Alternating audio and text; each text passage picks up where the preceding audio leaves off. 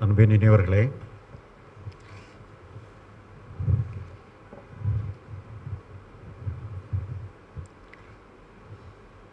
நாம் வந்து இந்த ஞான முகாம் வந்து ரெண்டு நாள் நம்ம நடத்த போகிறோம்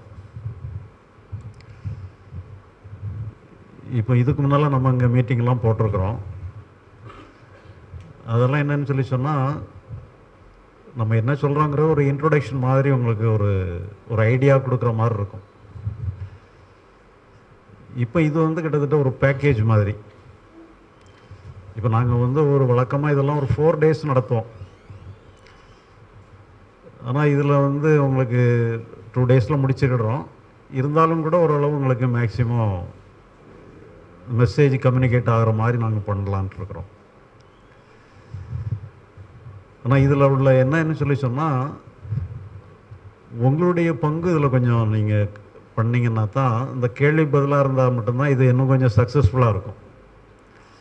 ஏன்னா நாங்கள் சொல்கிறது வந்து ரொம்ப டீட்டெயில்டாக சொல்கிறத விட என்னங்கிற ஒரு ஐடியா கொடுப்போம். இப்படி இப்படி நீங்கள் கான்வர்சேஷனில் வரும்பொழுது தான் ஒரு டோட்டல் வியூ கிடைக்கிறதுக்கு நல்லாயிருக்கும் அதனால் இதில் வந்து உங்களுடைய பார்ட்டிசிபேஷனும் இதோட இது ஒரு ஒர்க் ஷாப் மாதிரி தான். அதனால் கொஞ்சம் உங்களுடைய பார்ட்டிசிபேஷன் கொஞ்சம் அதிகமாக இருக்கணும்.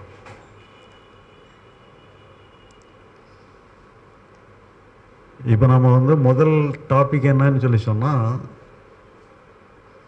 அண்டர்ஸ்டாண்டிங்னு சொல்லி நம்ம புரிந்து கொள்ளுதல். புரிந்து கொள்ளுதல்னு சொல்லி சொன்னாலே ஏதோ சாதாரணமாக ஒரு கணக்கை படித்து புரிஞ்சுக்கிடுற மாதிரி ஒரு கதையை படித்து புரிஞ்சுக்கிடுற மாதிரி சிம்பிளாக நம்ம சொல்ல வேண்டியிருக்கு. புரிந்து கொள்கிறதும் ஞானமும் ஒன்று தான் ஞானம்னா என்னனாலும் ஒன்று தான் அண்டர்ஸ்டாண்ட் பண்ணி புரிஞ்சுக்கிடுறதுனால ஒன்று தான் ரெண்டுக்கும் வேறு கிடையாது. இந்த ஃபேன் ஒன்று கொஞ்சம் ஆஃப் பண்ணி.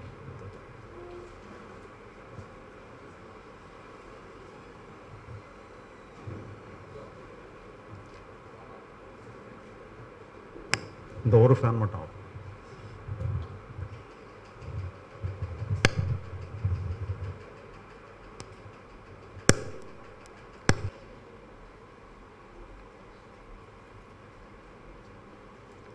நம்ம மீட்டிங் வந்து ஃபஸ்ட் டைமாக யாராவது வந்திருக்கீங்களா?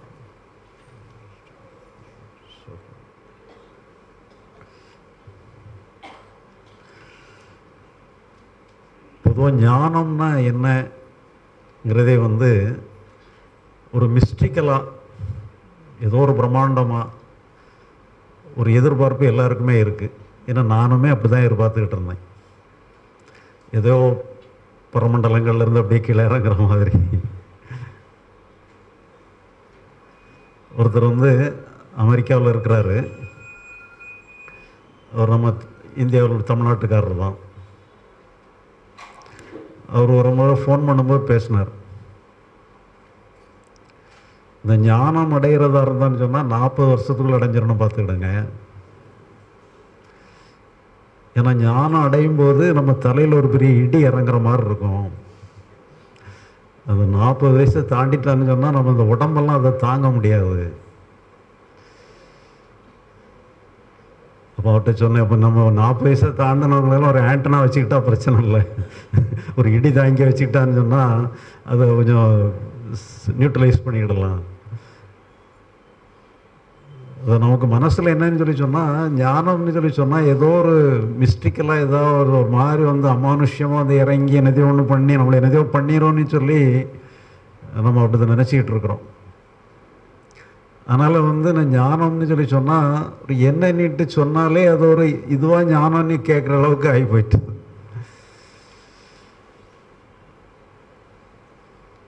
இப்போ இதில் என்ன வித்தியாசம்னு சொல்லி சொன்னால் இந்த யோக நிலைகள் ஞா இந்த இந்த மாதிரி இது வந்து யோகான்னு சொல்கிறோம் யோக நிலைகள் யோக சாதனைகள். இந்த யோக சாதனையும் யோக நிலையையும் ஞானத்தையும் மிக்ஸ் பண்ணனால உள்ள பிரச்சனை தான் அதெல்லாம். ஞானங்கிறது வந்து ரொம்ப எளிமையான ஒன்று யோக சாதனைகள் வந்து கொஞ்சம் கஷ்டமானது. நிறைய அனுபவங்கள் எல்லாம் கொடுக்கும். நாம் என்ன சொன்னால் அதை இதே மிக்ஸ் பண்ணி ஒரு கன்ஃபியூஸ்டு ஸ்டேட்டில் கொண்டு விட்டுட்டோம். அதனால தான் ஞானம்னா என்னன்னு தெரியாமலேயே ஞானத்தை பற்றி தேடிட்டு இருக்கிறதுனால ஞானமே வந்து ஒரு விசித்திரமான ஒன்றுங்கிற மாதிரி ஒரு எண்ணம் நமக்கு இருக்கு.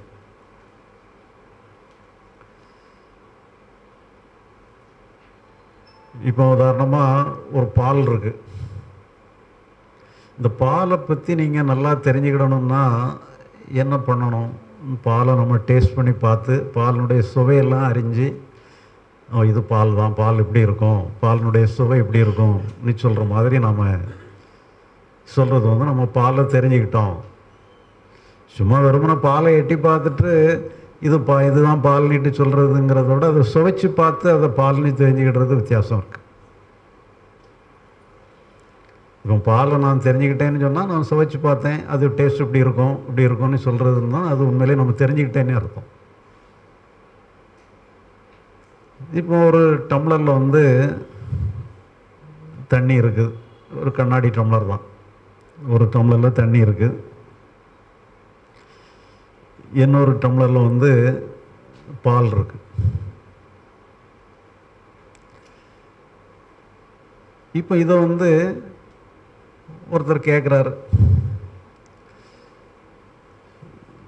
இதில் எது பால் எது தண்ணின்னு உங்களால் சொல்ல முடியுமா? சொல்லி கேட்குறாரு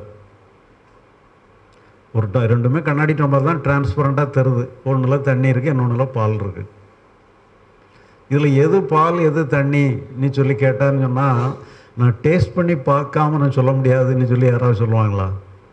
அது பார்த்த மாத்திரத்தில் இதுதான் தண்ணி இது பால்னு நமக்கு எல்லாருக்குமே தெரியும். இப்போ உண்மையிலே ஞானங்கிறது வந்து இவ்வளவு ஒரு எளிமையான விஷயந்தான் இது நம்ம வந்து டேஸ்ட் பண்ணி பார்த்து அறிஞ்சு சுவைச்சு பார்த்துலாம் தெரிஞ்சுக்கிற அளவுலலாம் ஒன்றுமே கிடையாது. ஒரு இன்டலெக்சுவலாக நம்ம அறிவுபூர்வமாக இதுதான் ஞானம் இது ஞானம் இல்லைன்னு சொல்லி தெரிஞ்ச அந்த அளவுக்கு இருந்தால் போதும்.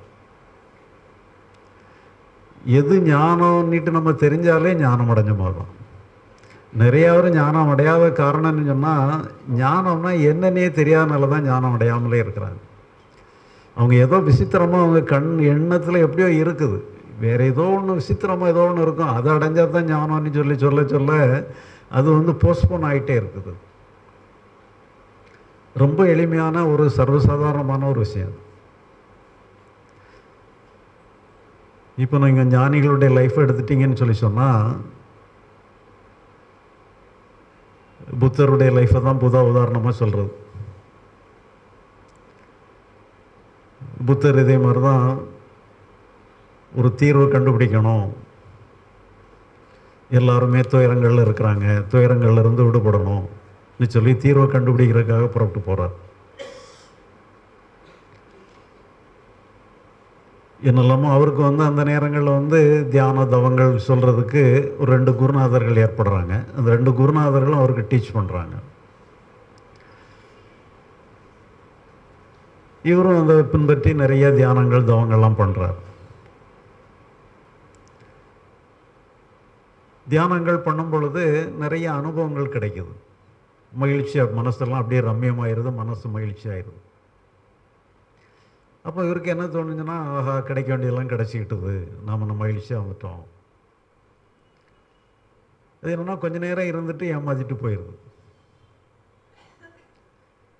சரி அப்போ அவருக்கு என்ன பண்ணனே தெரியலனா இதே தான் பல வருஷமாக பண்ணுறாரு வருது போகுது. இதுக்கு மேலே அவருக்கு எங்கேயுமே போகிறது தெரில என்ன பண்ணனே தெரில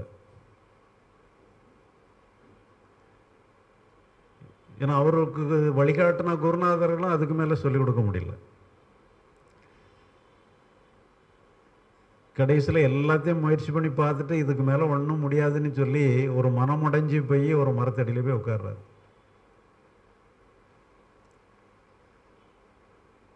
அவர் என்ன தீர்வை எதிர்பார்த்து இவ்வளோ பாடுபட்டாரோ அந்த தீர்வு அவருக்கு தானாகவே கிடைக்குது.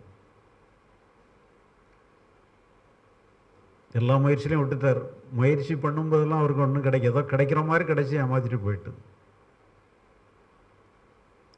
இப்போ அவர் எதிர்பார்த்தது என்னன்னு சொல்லி சொன்னால் ஏதோ ஒரு பெர்மனண்ட்டான ஒரு அனுபவம் நமக்கு தங்கி இருக்குங்கிற மாதிரி தான் நினச்சி தான் எதிர்பார்த்துக்கிட்டு இருந்தார். எந்த அனுபவம் தங்கின மாதிரி தெரில பிரச்சனையை சந்திக்க வேண்டிய நிலைமைக்கு வந்துட்டார். கடைசியில் சும்மா இருக்கும்போது தானாகவே கிடைச்சது அவருக்கு. அப்போ இது எப்படி கிடைச்சதுன்னு சொல்லி அவருக்கு நம்ப முடியல. ஏன்னா ஏதாவது ஒன்று பண்ணி ஒரு இது கிடைச்சதுன்னு சொன்னால் பரவாயில்ல. ஒன்றும் கிடைக்காம தானாகவே கிடைச்சிக்கிட்டு.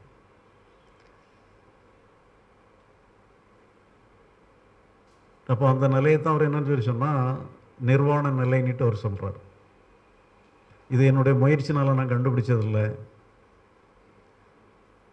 இது எனக்குள்ளே ஏற்கனவே இருந்த ஒன்றை நான் இன்னைக்கு கண்டுபிடிச்சிக்கிட்டேன். சொல்லி சொல்கிறார் இது வந்து எனக்கு மட்டும் சொந்தமானதில்லை எல்லாருக்கும் சொந்தமானது. அதனால் யார் யாரெல்லாம் அதை கண்டுபிடிக்கிறாங்களோ அவங்களுக்கு எல்லாருக்குமே சொந்தமாயிரும். இதை நீங்கள் கண்டுபிடிச்சிக்கலாம். யார் வேணாலும் கண்டுபிடிச்சிக்கலாம். இது உங்களுக்குள்ளே தான் இருக்குங்கிறது இப்போ நம்ம அப்படி ஒன்று சொன்ன உடனே அதுக்கும் நமக்கு ஒரு கற்பனை ஓடிடுது. அப்படியே சோ விசித்திரமாக ஏதோ ஒன்றும் இல்லை கிடக்கும் இல்லையே நமக்கு.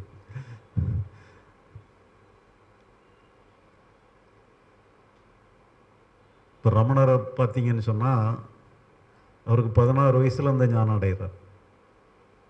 அவர் எந்த முயற்சிகளோ எந்த சாதனைகளோ ஒன்றும் பண்ணலை.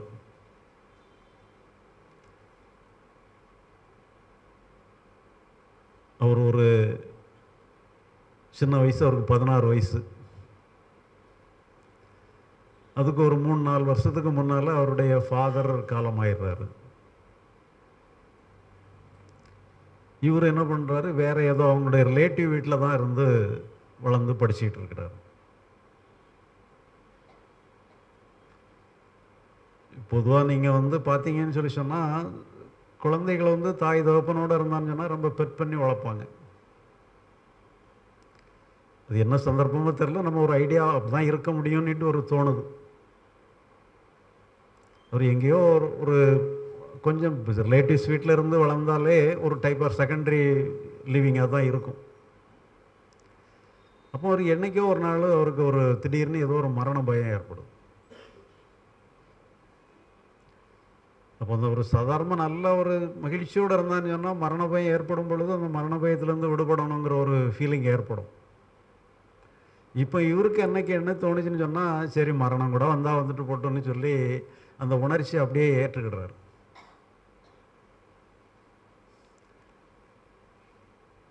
அது அந்த மரண பயம் அப்படியே ஏற்படுற அந்த ஒரு மரண பயத்தை அப்படியே ஏற்றுக்கிடும் பொழுது அந்த மன இயக்கம் வேற ஒரு இயக்கமாக மாறிடும் அது அப்படியே ஏற்றுக்கிடுறார். அவருடைய ஒரு ஞான தெளிவு அவருக்கு ஏற்படும். இப்போ இதெல்லாம் என்னன்னு சொல்லி சொன்னால் ஒரு மனதில் உள்ள ஒரு மாற்றம் அங்கே ஏற்படும். இந்த மாற்றத்தை வந்து லிபரேஷன் சொல்லி சொல்கிறாங்க இது நம்ம சாஸ்திரங்களில் முக்தி மோட்சம் இப்படிலாம் பேர் கொடுக்கும் ஆனால் அந்த இதை ஏற்படுறதுக்கு என்னன்னு சொல்லி சொன்னால் நம்ம மனசு வந்து எதையோ ஒன்று புரிஞ்சுக்கிட வேண்டியிருக்கு. அது எதையோ ஒன்று புரிஞ்சுக்கிடுறது மூலமாக தான் இந்த மாற்றம் ஏற்படுறதுக்கு வாய்ப்பு இருக்கு. அப்படி எதையோ ஒன்று புரிஞ்சுக்கிடுறதுக்கு பேர் தான் நம்ம வந்து அண்டர்ஸ்டாண்டிங்னு சொல்கிறோம் ஞானம்னு சொல்கிறோம் நீங்கள் எதையாவது ஒன்று கரெக்டாக புரிஞ்சுக்கிட்டீங்கன்னு சொன்னால் அந்த புரிதல்னால இப்படி ஒரு விளைவு ஏற்படும். இப்படி ஒரு மாற்றம் ஏற்படும். ஒரு லிபரேஷன் ஏற்படும். ஒரு முக்தி ஏற்படும். அந்த முக்தி ஏற்படுறதுக்கு நாம் ஏதோ ஒன்று புரிஞ்சுக்கிட வேண்டியிருக்கு. அதை வந்து அண்டர்ஸ்டாண்டிங்னு சொல்லிக்கிடலாம் என்லைட்டன்மெண்ட்னு சொல்லிக்கிடலாம். இப்போ உண்மையிலே அவங்கெல்லாம் என்ன புரிஞ்சுக்கிட்டாங்க? புத்தர் புரிஞ்சுக்கிட்டாரு. ரமணர் புரிஞ்சுக்கிட்டாரு. இதே மாதிரி நீங்கள் எல்லா ஞானிகளும் எடுத்து பார்த்தீங்கனாலும் கூட ஏதோ ஒரு சந்தர்ப்பத்தில் இன்னைக்கு வரைக்கும் நான் ஒரு மாதிரி இருந்தேன் அன்னைக்கு அதுக்கு மறுநாள்லேருந்து வேறு ஆளாக மாறிட்டேன்னு சொல்லி நிறைய பேர் சொல்லுவாங்க. அவங்க ஏதோ பயிற்சி நல்லாம பயிற்சி பண்ணியிருப்பாங்க அந்த பயிற்சியினுடைய விளைவாக அவங்க அடைஞ்சதாகலாம் சொல்ல மாட்டாங்க. பயிற்சியெல்லாம் பண்ணியிருப்பாங்க. பயிற்சிகள்னால அனுபவங்கள்லாம் கிடச்சி தான் இருக்கும். ஆனால் அவங்க ஒரு குறிப்பிட்ட டேட்டில் நான் இப்படி மாறிட்டேன்னு சொன்னான்னு சொல்லி சொன்னால் ஒரு இன்டலெக்சுவலாக ஒரு அண்டர்ஸ்டாண்டிங்க்கு மாறி இருப்பாங்க வேற ஒரு வகையான அண்டர்ஸ்டாண்டிங்லேருந்து இன்னொரு வகையான அண்டர்ஸ்டாண்டிங்க்கு மாறி இருப்பாங்க அந்த மாறுதலான அண்டர்ஸ்டாண்டிங்கை தான் உண்மையான அண்டர்ஸ்டாண்டிங்னு நம்ம சொல்கிறோம் அதுதான் நம்ம ஞானம்னே சொல்கிறோம் அப்படி புரிஞ்சுக்கிட்டோம்னு சொல்லி சொன்னால் அதுதான் உண்மையிலேயே நம்ம புரிஞ்சுக்கிடுறது. இப்போ இவங்கெல்லாம் உண்மையிலே என்னதை புரிஞ்சுக்கிட்டாங்க? இப்போ இதில் என்னன்னு சொல்லி சொன்னால் எல்லாருமே இந்த ஆன்மீகம் இதுகளுக்கெல்லாம் வர்றதனுடைய நோக்கம் என்னன்னு சொல்லி சொன்னால்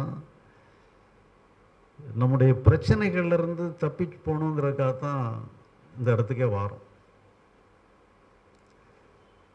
இப்போ நீங்கள் பார்த்துட்டீங்கன்னு சொல்லி சொன்னால் நம்ம குழந்தையா இருந்தோம் சின்ன வயசாக இருந்தோம்னு சொல்லி சொன்னால் அப்போ நமக்கு வந்து எது எதெல்லாம் மகிழ்ச்சி அளிக்குதோ எது எதெல்லாம் நமக்கு இன்பத்தை தருதோ அது பின்னாலே நம்ம போயிட்டுருப்போம் அப்போ நாம் இளைஞர்களாக இருக்கிறோம் குழந்தைகளாக இருக்கோம்னே அர்த்தம். இன்பத்து பின்னாலே நம்ம போயிட்டுருக்கோம்னு சொன்னால் நம்ம குழந்தைகளாக இருக்கிறோம் இன்னும் சின்ன பிள்ளைகளாக இருக்கிறோன்னு தான் அர்த்தம். ஒரு ஸ்டேஜ் கடந்ததுக்கு பிறகு என்ன ஆகுன்னு சொல்லி சொன்னால் இந்த இன்பத்து மேலே உள்ள நாட்டம் கொஞ்சம் குறைஞ்சிரும். நம்மளை அறியாமல் நேச்சுரலாகவே குறைஞ்சிரும். அதுக்கப்புறம் நம்முடைய ஸ்டாண்ட் என்னன்னு சொன்னால் இன்பம் கூட இருந்தாலும் சரி தான் இல்லைனாலும் சரி தான் இந்த துன்பத்தில் இருந்து கொஞ்சம் விடுபட்டால் போதும்ப்பாங்கிற மாதிரி நிலைக்கு அடுத்த ஸ்டேஜுக்கு வந்துடும் ஏன்னா நமக்கு வந்து அந்த பிரச்சனைகள்லேருந்து விடுபடுறது தான் பெரிய விஷயமா இருக்கும். இப்போ வந்து அந்த எது வந்து அந்த பிரச்சனை இவ்வளோ பிரச்சனையே போட்டு ச இந்த பிரச்சனை பண்ணுது? நீ பார்த்தோன்னு சொல்லி சொன்னால் இது எல்லாமே நம்முடைய மனசில் தான் இந்த இதெல்லாமே இருக்குது இந்த மனதுங்கிறதுல வந்து அதுதான் நம்ம வந்து மனதை நம்ம பார்க்கும் பொழுது மனது ரெண்டு பகுதியாக நம்ம பிரிக்கிறோம்.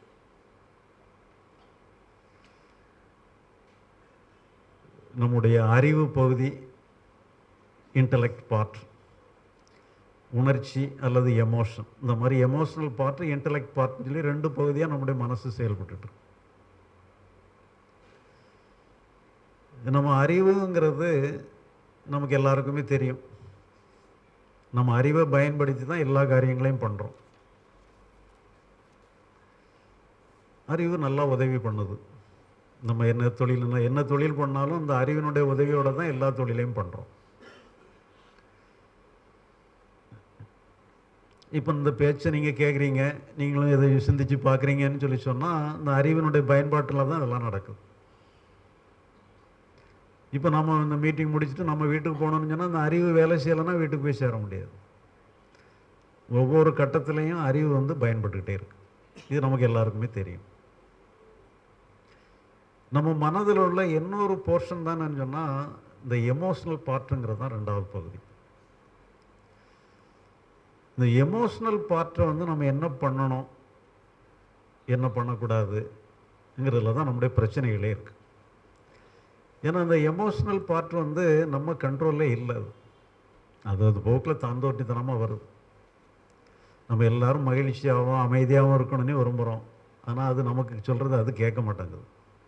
அது அது இஷ்டப்படி தான் வருது. இந்த உணர்ச்சிகளை என்ன பண்ணணும்? எப்படி நம்ம கண்ட்ரோலுக்குள்ள எடுத்துக்கிடணுங்கிறத வந்து ஞானிகள் மட்டும்தான் தெரிஞ்சு வச்சுருக்குறாங்க.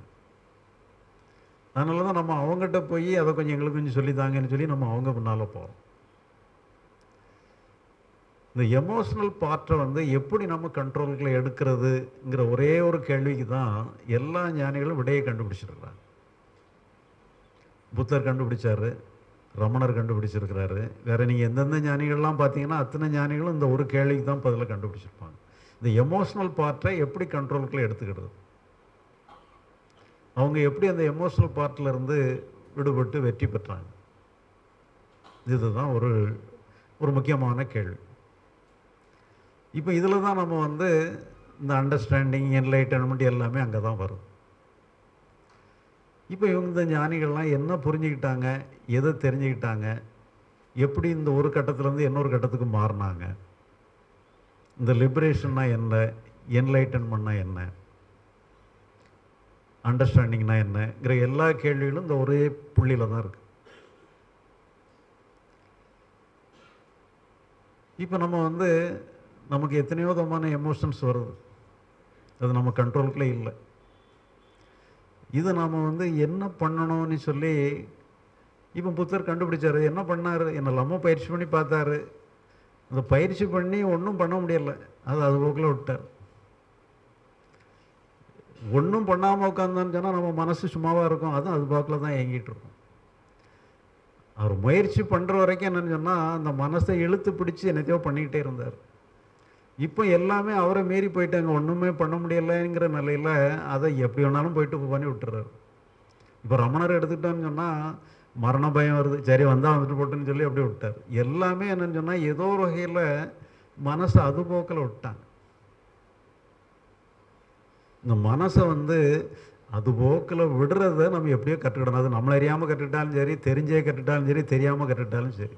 ஏன்னா யாருமே வந்து இங்கே தெரிஞ்செல்லாம் ஒன்றும் கற்றுக்கிடலாம் எல்லா ஞானிகளுமே அவங்கள அறியாமல் ஆக்சிடெண்ட்டாக கற்றுக்கிட்டாங்க புத்தரெல்லாம் ஒன்று திட்டம் போட்டெல்லாம் அதை கற்றுக்கிடல திட்டம் போட்டு பயிற்சிகள் பண்ணார். ஆனால் கற்றுக்கிட்டது வந்து அவர் அறியாமல் ஆக்சிடெண்டெல்லாம் கற்றுக்கிட்டார் ரமணரும் அதே மாதிரி தான் ஆக்சிடெண்டெல்லாம் கற்று எந்த ஞானிகளை நிறையா ஞானிகளை பார்த்தீங்கன்னு சொன்னால் இந்த ஆக்சிடெண்டெல்லாம் கற்றுக்கிட்ட ரெக்கார்டு தான் நிறையா இருக்குது திட்டம் போட்டு ப்ராக்டிஸ் பண்ணி பயிற்சி பண்ணி ரொம்ப முறையாக கற்றுக்கிட்டதுங்கிறதெல்லாம் அது ஒன்றும் இருந்த மாதிரியே தெரில ஏதோ ஒரு ஆக்சிடெண்டெல்லாம் அது கற்றுக்கிட்டான் ஆனால் அது வந்து உண்மையிலே வந்து அப்படி தான் ஆக்சிடென்டலாக தான் எல்லாருக்கும் கற்றுக்கிடணும்னு சொல்லி சொன்னால் அப்போ அது அப்படி ஒன்றும் இல்லை. அது உண்மையிலே என்னன்னு சொல்லிட்டோம் நம்ம சரியாக புரிஞ்சுக்கிட்டோம்னு சொல்லி சொன்னால் அது ஒரு சயின்ஸ் அது. ஒரு விஞ்ஞானம். ஒரு அறிவியல் நுட்பம் அதில் இருக்குது இப்போ நாம் வந்து ஒரு நல்ல ஒரு புதுசாக ஒரு கார் ஒன்று வாங்கியிருக்கிறோம். நல்ல கண்டிஷனாக இருக்குது ஒரு நாள் என்ன பண்ணுறோம் ஹை ஸ்பீடில் அந்த வண்டி எடுத்துட்டு நல்லா ரோடு நல்லா இருக்குது ஹை ஸ்பீடில் போகிறோம் நூறு கிலோமீட்டர் நூற்றி இருபது கிலோமீட்டர் நூற்றி முப்பது கிலோமீட்டர்கிட்ட ஸ்பீடாக போயிட்டுருக்கு. திடீர்னு ஒரு எமர்ஜென்சி சடன் பிரேக் அப்ளை பண்ணுறோம் வண்டி அப்படியே போட்டன் போட்டு அப்படியே ட்விஸ்ட் ஆகி திரும்பி நிற்கு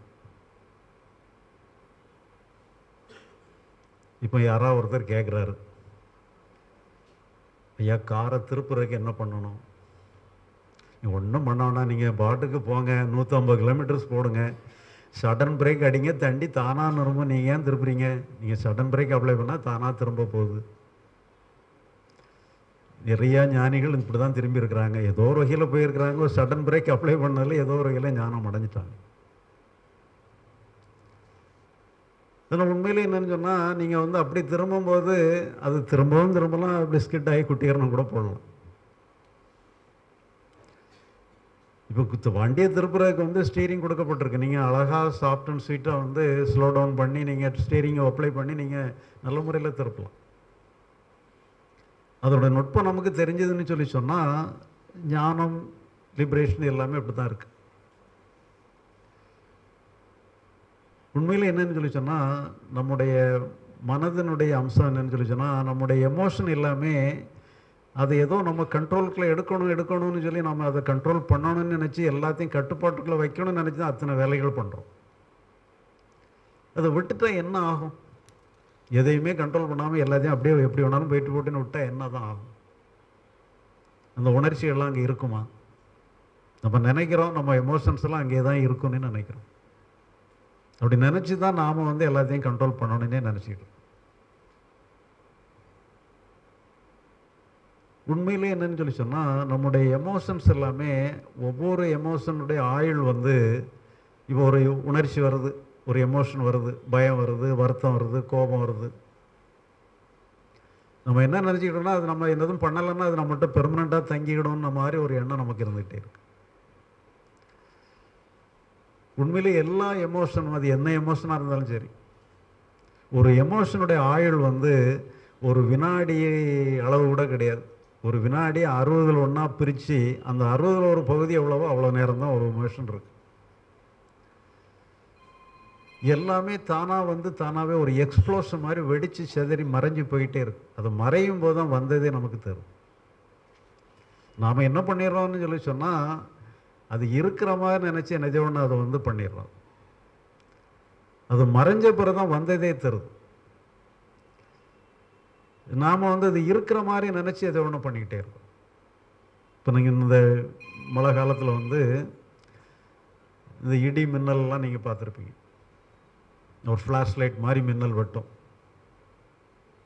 ஒரு ரெண்டு மூணு வினாடி கழித்து இடி ஓசை கேட்கும். அந்த ஃப்ளாஷ் லைட்டுக்கு யாரும் பயப்பட மாட்டோம். அந்த இடி ஓசை கேட்கும்போது தான் காதை பற்றுவோம் உண்மையில் என்னன்னு சொல்லி சொன்னால் அந்த எந்த இடி நம்ம கேட்குறோமோ அது நம்ம தலையில் விழுகிறதுக்கு வாய்ப்பே கிடையாது. அது அந்த ஃப்ளாஷ் லைட்டோட முடிஞ்சு போச்சுது ஒரு இல்லாத ஒன்று வந்து நமக்கு வந்து இருக்கிற மாதிரி தோணுது. உண்மையிலே நான் அந்த இடியோசை கேட்கும்போது அங்கே இடியே கிடையாது. இப்போ இதே மாதிரி தான் சொன்னால் எல்லா எமோஷன்ஸுமே வந்து வந்து மறைஞ்சு போயிட்டே இருக்குது நம்ம போனதுக்கு அப்புறம் தான் அதை வந்து நம்ம சரி பண்ணுறதுக்காக நம்ம முயற்சி பண்ணிடுறோம் நீங்கள் விட்டுட்டீங்கன்னு சொன்னால் எல்லாமே தானாகவே போயிடும். நம்ம ஒன்றுமே பண்ண தேவையில்ல.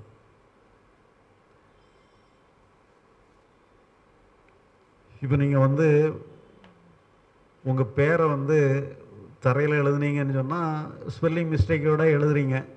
அதை கொஞ்சம் அழிச்சு கூட நீங்கள் தேடி பண்ணலாம். உங்கள் பேரை வந்து நீங்கள் தண்ணியில் எழுதுறீங்கன்னு வச்சுக்கிடுங்க. ஸ்பெல்லிங் மிஸ்டோடு எழுதிட்டேன் இல்லை கொஞ்சம் அழிச்சு எழுதுவேன்னு சொன்னால் எழுத வேண்டிய அவசியமே இல்லை. அது எழுத எழுத அது பாட்டுக்கு அழிஞ்சு போயிட்டே இருக்கும். நம்முடைய எமோஷன்ஸ் எல்லாமே அப்படி தான் எல்லாமே தண்ணியில் எழுதுகிற எழுத்து மாதிரி தான். அதெல்லாம் வருது எழுதும்போது இருக்குது. அடுத்த செகண்டே வினாடியே போயிட்டே இருக்கு. நாம் அங்கே ஒன்றுமே பண்ணுறக்கே தேவையில்லை. ஆனால் நம்ம பண்ணணும்னு சொல்லி ஏதோ ஒரு ரெஸ்பான்சிபிலிட்டி நம்ம எடுத்துக்கிட்டு இருக்கோம். ஒரு தேவையில்லாத ஒரு ரெஸ்பான்சிபிலிட்டி எடுத்ததுனால அங்கே ஏதோ ஒரு வேலை இருக்குங்கிற மாதிரி க்ரியேட் பண்ணி ஏதோ ஒரு வேலையை க்ரியேட் பண்ணிக்கிட்டே இருக்கும்.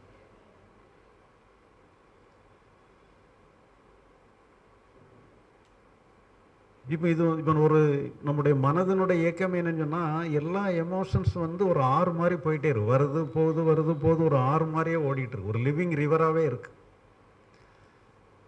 அந்த மனதினுடைய லிவிங் ரிவராக இருக்கக்கூடிய அந்த இயக்கத்துக்கு பேர் தான் லிபரேஷனுங்கிறது லிபரேஷனுங்கிறது கூட அது கூட நம்ம என்ன சொன்னால் முக்தி மோட்சங்கிறது கூட ஏதோ வினோதமான ஒரு நிலையாக கற்பனை பண்ணிகிட்டு இருக்கோம். மனது வந்து சுதந்திரமாக அப்படியே ஓடிட்டு இருக்கிறதுக்கு பேர் தான் முக்தின்னு சொன்னால் நிறையா கூட ஏற்றுக்கிட மாட்டாங்க. ஏன்னா அப்படி தான் இருக்குது ஏன்னா அந்த மாதிரி லோடட் ஆகிருக்கு முக்தின்னு சொன்னால் ஏதோ விசேஷமான வினோதமான ஒரு நிலைன்னு நம்ம கற்பனை பண்ணிகிட்டு இருக்கிறனால இப்படி மனசு வந்து அதுவாக போகிறத பேராக முக்தின்னுட்டு கூட ச- சங்கடப்பட்டுருவாங்க. ஏன்னா உண்மையில் அதுதான் முக்தி. வேறு ஒன்றுமே கிடையாது. மனது வந்து அப்படியே லிபரேட்டடாகவே ஓடிட்டுருக்கு அது நம்முடைய மனதினுடைய நேச்சுரல் ஸ்டேட்டே லிபரேஷன் தான். நம்ம லிபரேஷன்லாம் க்ரியேட் பண்ண வேண்டிய அவசியமே இல்லை. நம்ம இயற்கையான நிலையே நிர்வாண நிலை தான் முக்தி நிலை தான் மோட்ச நிலை. அந்த மனதினுடைய இயற்கையே வந்து அது நிற்காது. அதனுடைய இயற்கை அப்படி தான் இருக்குது அது படைக்கப்பட்டிருக்கிறது அப்படி தான் படைக்கப்பட்டிருக்கு. அது வருது போகுதுங்கிற மாதிரி தான் இருக்குது நாம் என்ன பண்ணிடுறோம்னு சொல்லி சொன்னால் பிளாக் பண்ணிடுறோம். எதையோ ஒன்று பிடிக்கிறோம் நிறுத்தணும்னு நினைக்கிறோம் ஏதோ ஒன்று பண்ணணும்னு நினைக்கிறோம். ஒரு ஆறு ஒன்று ஓடிக்கிட்டு இருக்குது நீங்கள் அதுக்கு குறுக்க கையை விடுறீங்கன்னு வச்சுக்கிடுங்க. நெல்லுன்னு கை விட்டாலும் சரி இல்லை ஓடுன்னு சொல்லி கைவிட்டாலும் சரி. உங்கள் கையை சுற்றி தண்ணி சுழல ஆரம்பிச்சிடும் சரி தண்ணியெல்லாம் வந்து கிளாக் வைஸில் சுற்றுது நம்ம கையை கொஞ்சம் ஆன்டி கிளாக் வைஸில் ரொட்டேட் பண்ணால் சுழல் போகுமானா போகாது. நீங்கள் கையை எடுத்துட்டீங்கன்னு சொன்னால் தானாக போயிடும் எல்லாமே போயிடும் நீங்கள் ஒன்றும் பண்ண தேவையில்ல. நம்ம மனசளவில் அகத்தளவில் நமக்கு எந்த வேலையுமே இல்லைங்கிறத நம்ம கண்டுபிடிச்சிக்கிட்டோம்னு சொன்னால் இப்படி ஒரு கண்டுபிடிக்கிறது தான் வந்து அண்டர்ஸ்டாண்டிங்னு சொல்கிறாங்க என்லைட்டன்மெண்ட்னு சொல்கிறாங்க இப்படி கண்டுபிடிச்சிட்டா என்ன ஆகுதுன்னு சொல்லி சொன்னால் அந்த மைண்ட் வந்து லிபரேட்டட் மைண்டாகவே மாறிடும் ஒரு முக்தி அடைந்த மனதாகவே மாறிடும் அது வரைக்கும் என்னன்னு சொன்னால் ஒரு ஒரு ஸ்ட்ரகிளிங் மைண்டு டிஸ்டர்ப்டாக நமக்கு நாமளே டிஸ்டர்பன்ஸ் பண்ணிக்கிட்டே இருக்கோம் நமக்கு நாமளே முரண்பட்டு அதை சரி பண்ணணும் சரி பண்ணணும்னு சொல்லி அதை நம்ம வந்து அதை வடிவமைக்கிற வேலையிலே இருந்துகிட்டு இருக்கோம். நீங்கள் விட்டுட்டீங்கன்னு சொன்னால் அது வந்து லிபரேட்டட் மைண்டாகவே இருக்குது நமக்கு அங்கே ஒன்றும் பண்ண தேவையில்லை. நம்ம சைக்கலாஜிக்கலாக வந்து நமக்கு எந்த வேலையுமே இல்லை. உண்மையிலே என்ன சொன்னால் கண்டுபிடிச்ச ஞானிகள்னா ஏதோ ஒரு வகையில் அவங்க வேலையை நிப்பாட்டிட்டு சும்மா இருக்கிறனால ஏதோ ஒரு வகையில் கண்டுபிடிச்சிட்டாங்க. அதுக்கு மேலே அவங்களால போக முடியல. அப்படியே ஸ்டக்கப் ஆகி மோதி முட்டி மோதி நின்று அதுக்கு மேலே போக முடியாத அப்படி நின்று போனனால வேலையை நிப்பாட்டிட்டாங்க. அந்த நிலையில் அது இயங்கும் பொழுது அதை கண்டுபிடிச்சிடுறாங்க. இது நம்ம யார் வேணாலும் அதை கண்டுபிடிச்சிக்கிட்டா போதும். சைக்கலாஜிக்கலாக நமக்கு எந்த வேலையுமே இல்லைங்கிறத நம்ம கண்டுபிடிச்சிட்டோம்னு சொன்னால் அந்த மைண்டுக்கு நம்ம இடையூறு பண்ணாமல் அதுக்கு சுதந்திரமாக விட்டுறோம். இப்போ இப்படி கண்டுபிடிக்கிற ஒன்று தான் வந்து அண்டர்ஸ்டாண்டிங்னு சொல்கிறோம் என்லைட்டன்மெண்ட்னு சொல்கிறோம் இப்போ இது வந்து நம்ம ஒன்றும் செய்ய வேண்டியதில்லை இப்போ இது வந்து முழுக்க முழுக்க சன்னியாசிகளாக இருந்தாங்கன்னு சொல்லி சொன்னால் ஏன்னா அவங்களுக்கு வேறு வேலைகள் ஒன்றும் இல்லை. சரி விட்டால் என்ன வேணாலும் பண்ணிட்டு போகலாம் எப்படி வேணாலும் அப்படி இருந்துடலாம். ஆனால் நம்ம பல வேலைகள் பல அலுவல்களோடு இருக்கோம். பல டியூட்டிகளோடு இருக்கிறோம் நம்ம ஒன்றும் செய்யாமல் சும்மா இருந்தால் சரியாக வருமா? நிறைய வேலைகளுக்கு மத்தியில் நம்ம இருக்கிறோமேன்னா இது சைக்கலாஜிக்கலாக மட்டும்தான். நீங்கள் புறத்தளவில் நீங்கள் ஒன்றும் செய்யாமல் இருந்தால் சொல்லலாம் அகத்தளவில் நீங்கள் ஒன்றும் செய்யாமல் இருந்தால் போதும். புறத்தளவில் நீங்கள் எல்லா வேலையும் செய்யுங்க. இதுதான் ஒரு உதாரணம் சொல்லுவாங்க. ஒருத்தர் ட்ரெயினில் போயிட்டு இருக்காரு அவர் கூட மூட்டை முடிச்சுகளையும் கொண்டு போகிறாரு அந்த மூட்டை முடிச்சுகளை என்ன பண்ணுறாருன்னு சொல்லி சொன்னால் அந்த லக்கேஜ் வைக்கிற இடத்த வச்சா பரவாயில்ல. அவர் தலையில் தூக்கி சுமந்துக்கிட்டு இருக்கிறார். இந்த தலையில் தூக்கி வைக்க வேண்டிய அவசியம் இல்லை. தலையில் உள்ளது மட்டும் கொஞ்சம் கீழே இறக்கி வைங்க. முக்கு லக்கேஜை கொண்டு போங்க. தலையில் மட்டும் வச்சு கொண்டு போகாதுங்க அவ்வளோதான் இப்போ அதே மாதிரி தான் நாம் வந்து உங்கள் இதிலெல்லாம் பிரச்சனைகளை தலையில் தூக்கி வைக்காதுங்க. சைக்கலாஜிக்கலாக எடுத்துக்கிடாதுங்க. ஃபிசிக்கலாக நீங்கள் என்ன வேணாலும் பண்ணுங்கள் ஃபிசிக்கலாக வச்சுக்கிடுங்க. இப்போ இதுதான் நம்ம வந்து ரெண்டாவது டாப்பிக்காக பார்க்க போகிறோம் அகம்னா என்ன? புறம்னா என்ன? ஏன்னா அகத்தில் நமக்கு ஒரு வேலையுமே இல்லைன்னு நம்ம கண்டுபிடிக்கிறோம். புறத்துலேயும் ஒரு வேலையுமே இருக்கா? வேலை இல்லையான்னு சொல்லி சொன்னால் புறத்தில் நம்ம எல்லா வேலைகளையும் பண்ணுவோம் புற வேலைகளை நம்ம விட வேண்டிய அவசியமே இல்லை புற வேலைகளை வச்சுக்கிடலாம். நீங்கள் லக்கேஜை கொண்டு போங்க. தலையில் மட்டும் தைக்க வைக்காதுங்க. கையில் வச்சுக்கிட்டு கொண்டு போங்க. இப்போ பக்கத்தில் லக்கேஜ் போடுற இடத்துல வச்சுட்டு கொண்டு போங்க. இந்த அகம்புறம்ங்கிறது நம்ம ரெண்டாவது டாப்பிக்காக பார்க்குறோம். இப்போ நம்ம வந்து இந்த அண்டர்ஸ்டாண்டிங்னா என்ன? இப்போ இதில் என்னன்னு சொல்லி சொன்னால் நிறைய இது வந்து அந்த யோகாவோட மிக்ஸ் பண்ணுறதுனால தான் ஏதோ அடையிறதுங்கிற மாதிரி ஒரு லாங்குவேஜ் வந்து அதில் இன்க்ளூட் ஆயிடுது. உண்மையிலே வந்து அண்டர்ஸ்டாண்டிங் வந்து நம்ம விடுறதை கண்டுபிடிக்கணும். அடையிறதை கண்டுபிடிக்கிறது இல்லை. அடையிறதுங்கிறதுலாம் யோகாவோட சேர்ந்தது. நீங்கள் எதையோ ஒன்றும் பயிற்சி பண்ணி எதையோ அடையிறதுங்கிறது. நீங்கள் விட விடுறதை கண்டுபிடிக்கிறதுக்கு நீங்கள் ஒன்றும் பண்ண வேண்டியதில்லை. பாட்டுக்கு போயிட்டே இருக்குது. நீங்கள் அடையிறதுக்கு தான் முயற்சி பண்ணணும். தெரிஞ்சுக்கிட்டு என்னதோ ஒன்று பயிற்சி பண்ணணும் முயற்சி பண்ணுறதெல்லாம் நீங்கள் அடையிற விஷயம். அதெல்லாம் யோகாவுக்கு நீங்கள் பண்ணுங்கள் இதெல்லாம் ஒரு ப்ரிலிமினரி எல்லா ஞானிகளுமே வந்து ஒரு ஆரம்ப காலத்தில் ஏதோ பயிற்சி முயற்சிகள் பண்ணி தான் அங்கே வந்திருக்கிறாங்க. அப்போ இந்த யோகாவை பொறுத்தளவில் நாம் எதையோ பயிற்சி பண்ணுறோம் முயற்சி பண்ணுறோம் அடையிறதுக்கு ஏதோ ஒன்று செய்கிறோம் நமக்கு பண்ணுறதுனால ஏதோ ஒரு பலன் கிடைக்குது ஏதோ ஏதோ ஒரு அனுபவங்கள்லாம் கிடைக்குது. இதெல்லாம் வந்து ஒரு ப்ரிலிமினரி ஸ்டேஜ் ஒரு ஆரம்ப காலத்தில் எல்லாமே தேவை தான் ஆனால் இந்த அண்டர்ஸ்டாண்டிங்கை பொறுத்தளவில் அதுக்கப்புறம் எந்த இதையும் நம்ம அடைகிறதுங்கிறது கிடையாது. அதுக்கப்புறம் விடுறதை நம்ம கண்டுபிடிக்கணும். நமக்கு அங்கே எந்த வேலையுமே இல்லைங்கிறத கண்டுபிடிக்கணும். இந்த சும்மா இருங்கிறதெல்லாம் இதுக்கு தான். சும்மா இருன்னுட்டு சொல்லி சொல்கிறதுனுடைய நோக்கமே இது அகத்தை பொறுத்தளவில் நமக்கு அங்கே வேலையே இல்லைங்கிறத கண்டுபிடிச்சிக்கிடுறது இப்போ நம்ம அகத்தை பொறுத்தளவு நமக்கு எந்த வேலையுமே இல்லைன்னு நம்ம கண்டுபிடிச்சிக்கிட்டோம்னு சொல்லி சொன்னால் அந்த கண்டுபிடிப்பை தான் உண்மையிலே நம்ம அண்டர்ஸ்டாண்டிங்னு சொல்கிறோம் என்லைட்டன்மெண்ட்னு சொல்கிறோம் இப்படி சொன்னதுனால என்னன்னு சொல்லி சொன்னால் நம்ம வந்து மனதினுடைய இயற்கையான எதிர் இயக்கத்துக்கு நம்ம இடையூறு பண்ணாமல் போயிடும் நம்ம அதை வந்து நம்ம வந்து கொண்டு வர்றதில்ல. நம்ம வந்து லிபரேஷன்லாம் கொண்டு வர முடியாது. கொண்டு வந்தால் அது நம்ம எதையாவது கொண்டு வந்தோம்னா திருப்பி அது நம்மளை விட்டு இழந்துரும். நம்ம போய் திருப்பி நம்மளை விட்டு ஓடி போயிடும் ஆனால் அது இயற்கையானது. நம்ம ஒன்றும் கொண்டு வர வேண்டிய அவசியமே இல்லை. நம்ம மனதினுடைய இயக்கம் வந்து இயற்கையாக இருக்குது நாம் வந்து என்னென்னு சொல்லி சொன்னால் அதுக்கு தொந்தரவு பண்ணாமல் இருந்தால் போதும். நமக்கு அங்கே வேலையே இல்லை. உண்மையிலே நம்ம ஏதாவது ஒரு வேலை பண்ணணும்னா டிஸ்டர்பாக தான் ஆயிடும்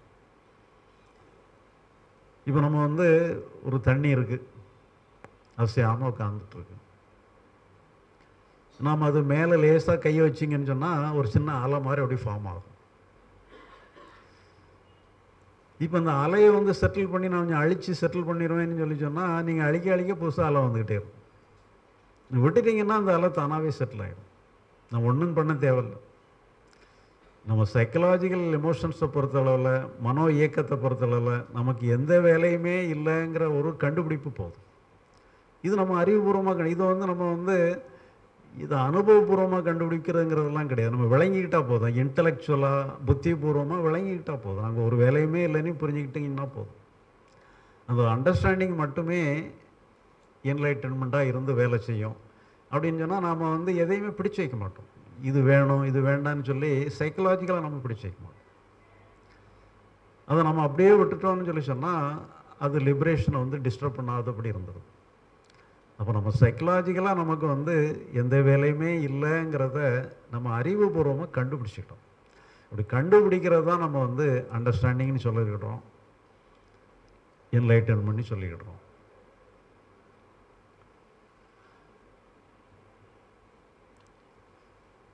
இப்போ இது சம்மந்தமாக ஏதாவது கொஞ்சம் கேள்விகள் இருந்து ஏன்னா இதில் வந்து என்ன ப்ராப்ளம் வருதுன்னு சொன்னால் என்லைட்டன்மெண்ட்டுக்கும் யோகாவுக்கும் தான் கொஞ்சம் கான்ட்ரடிக்ஷனில் வருது.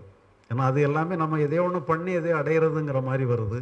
இங்கே ஒன்றும் பண்ண வேண்டியதில்லை எல்லாத்தையும் விட்டுருங்கிற நிலையில் இங்கே வருது. இந்த ரெண்டுக்குள்ள இந்த கான்ட்ராஸ்டாக புரிஞ்சுக்கிட்டான்னாலே நம்ம புரிஞ்சுக்கிட்டது ரொம்ப சுலபமாயிரும்.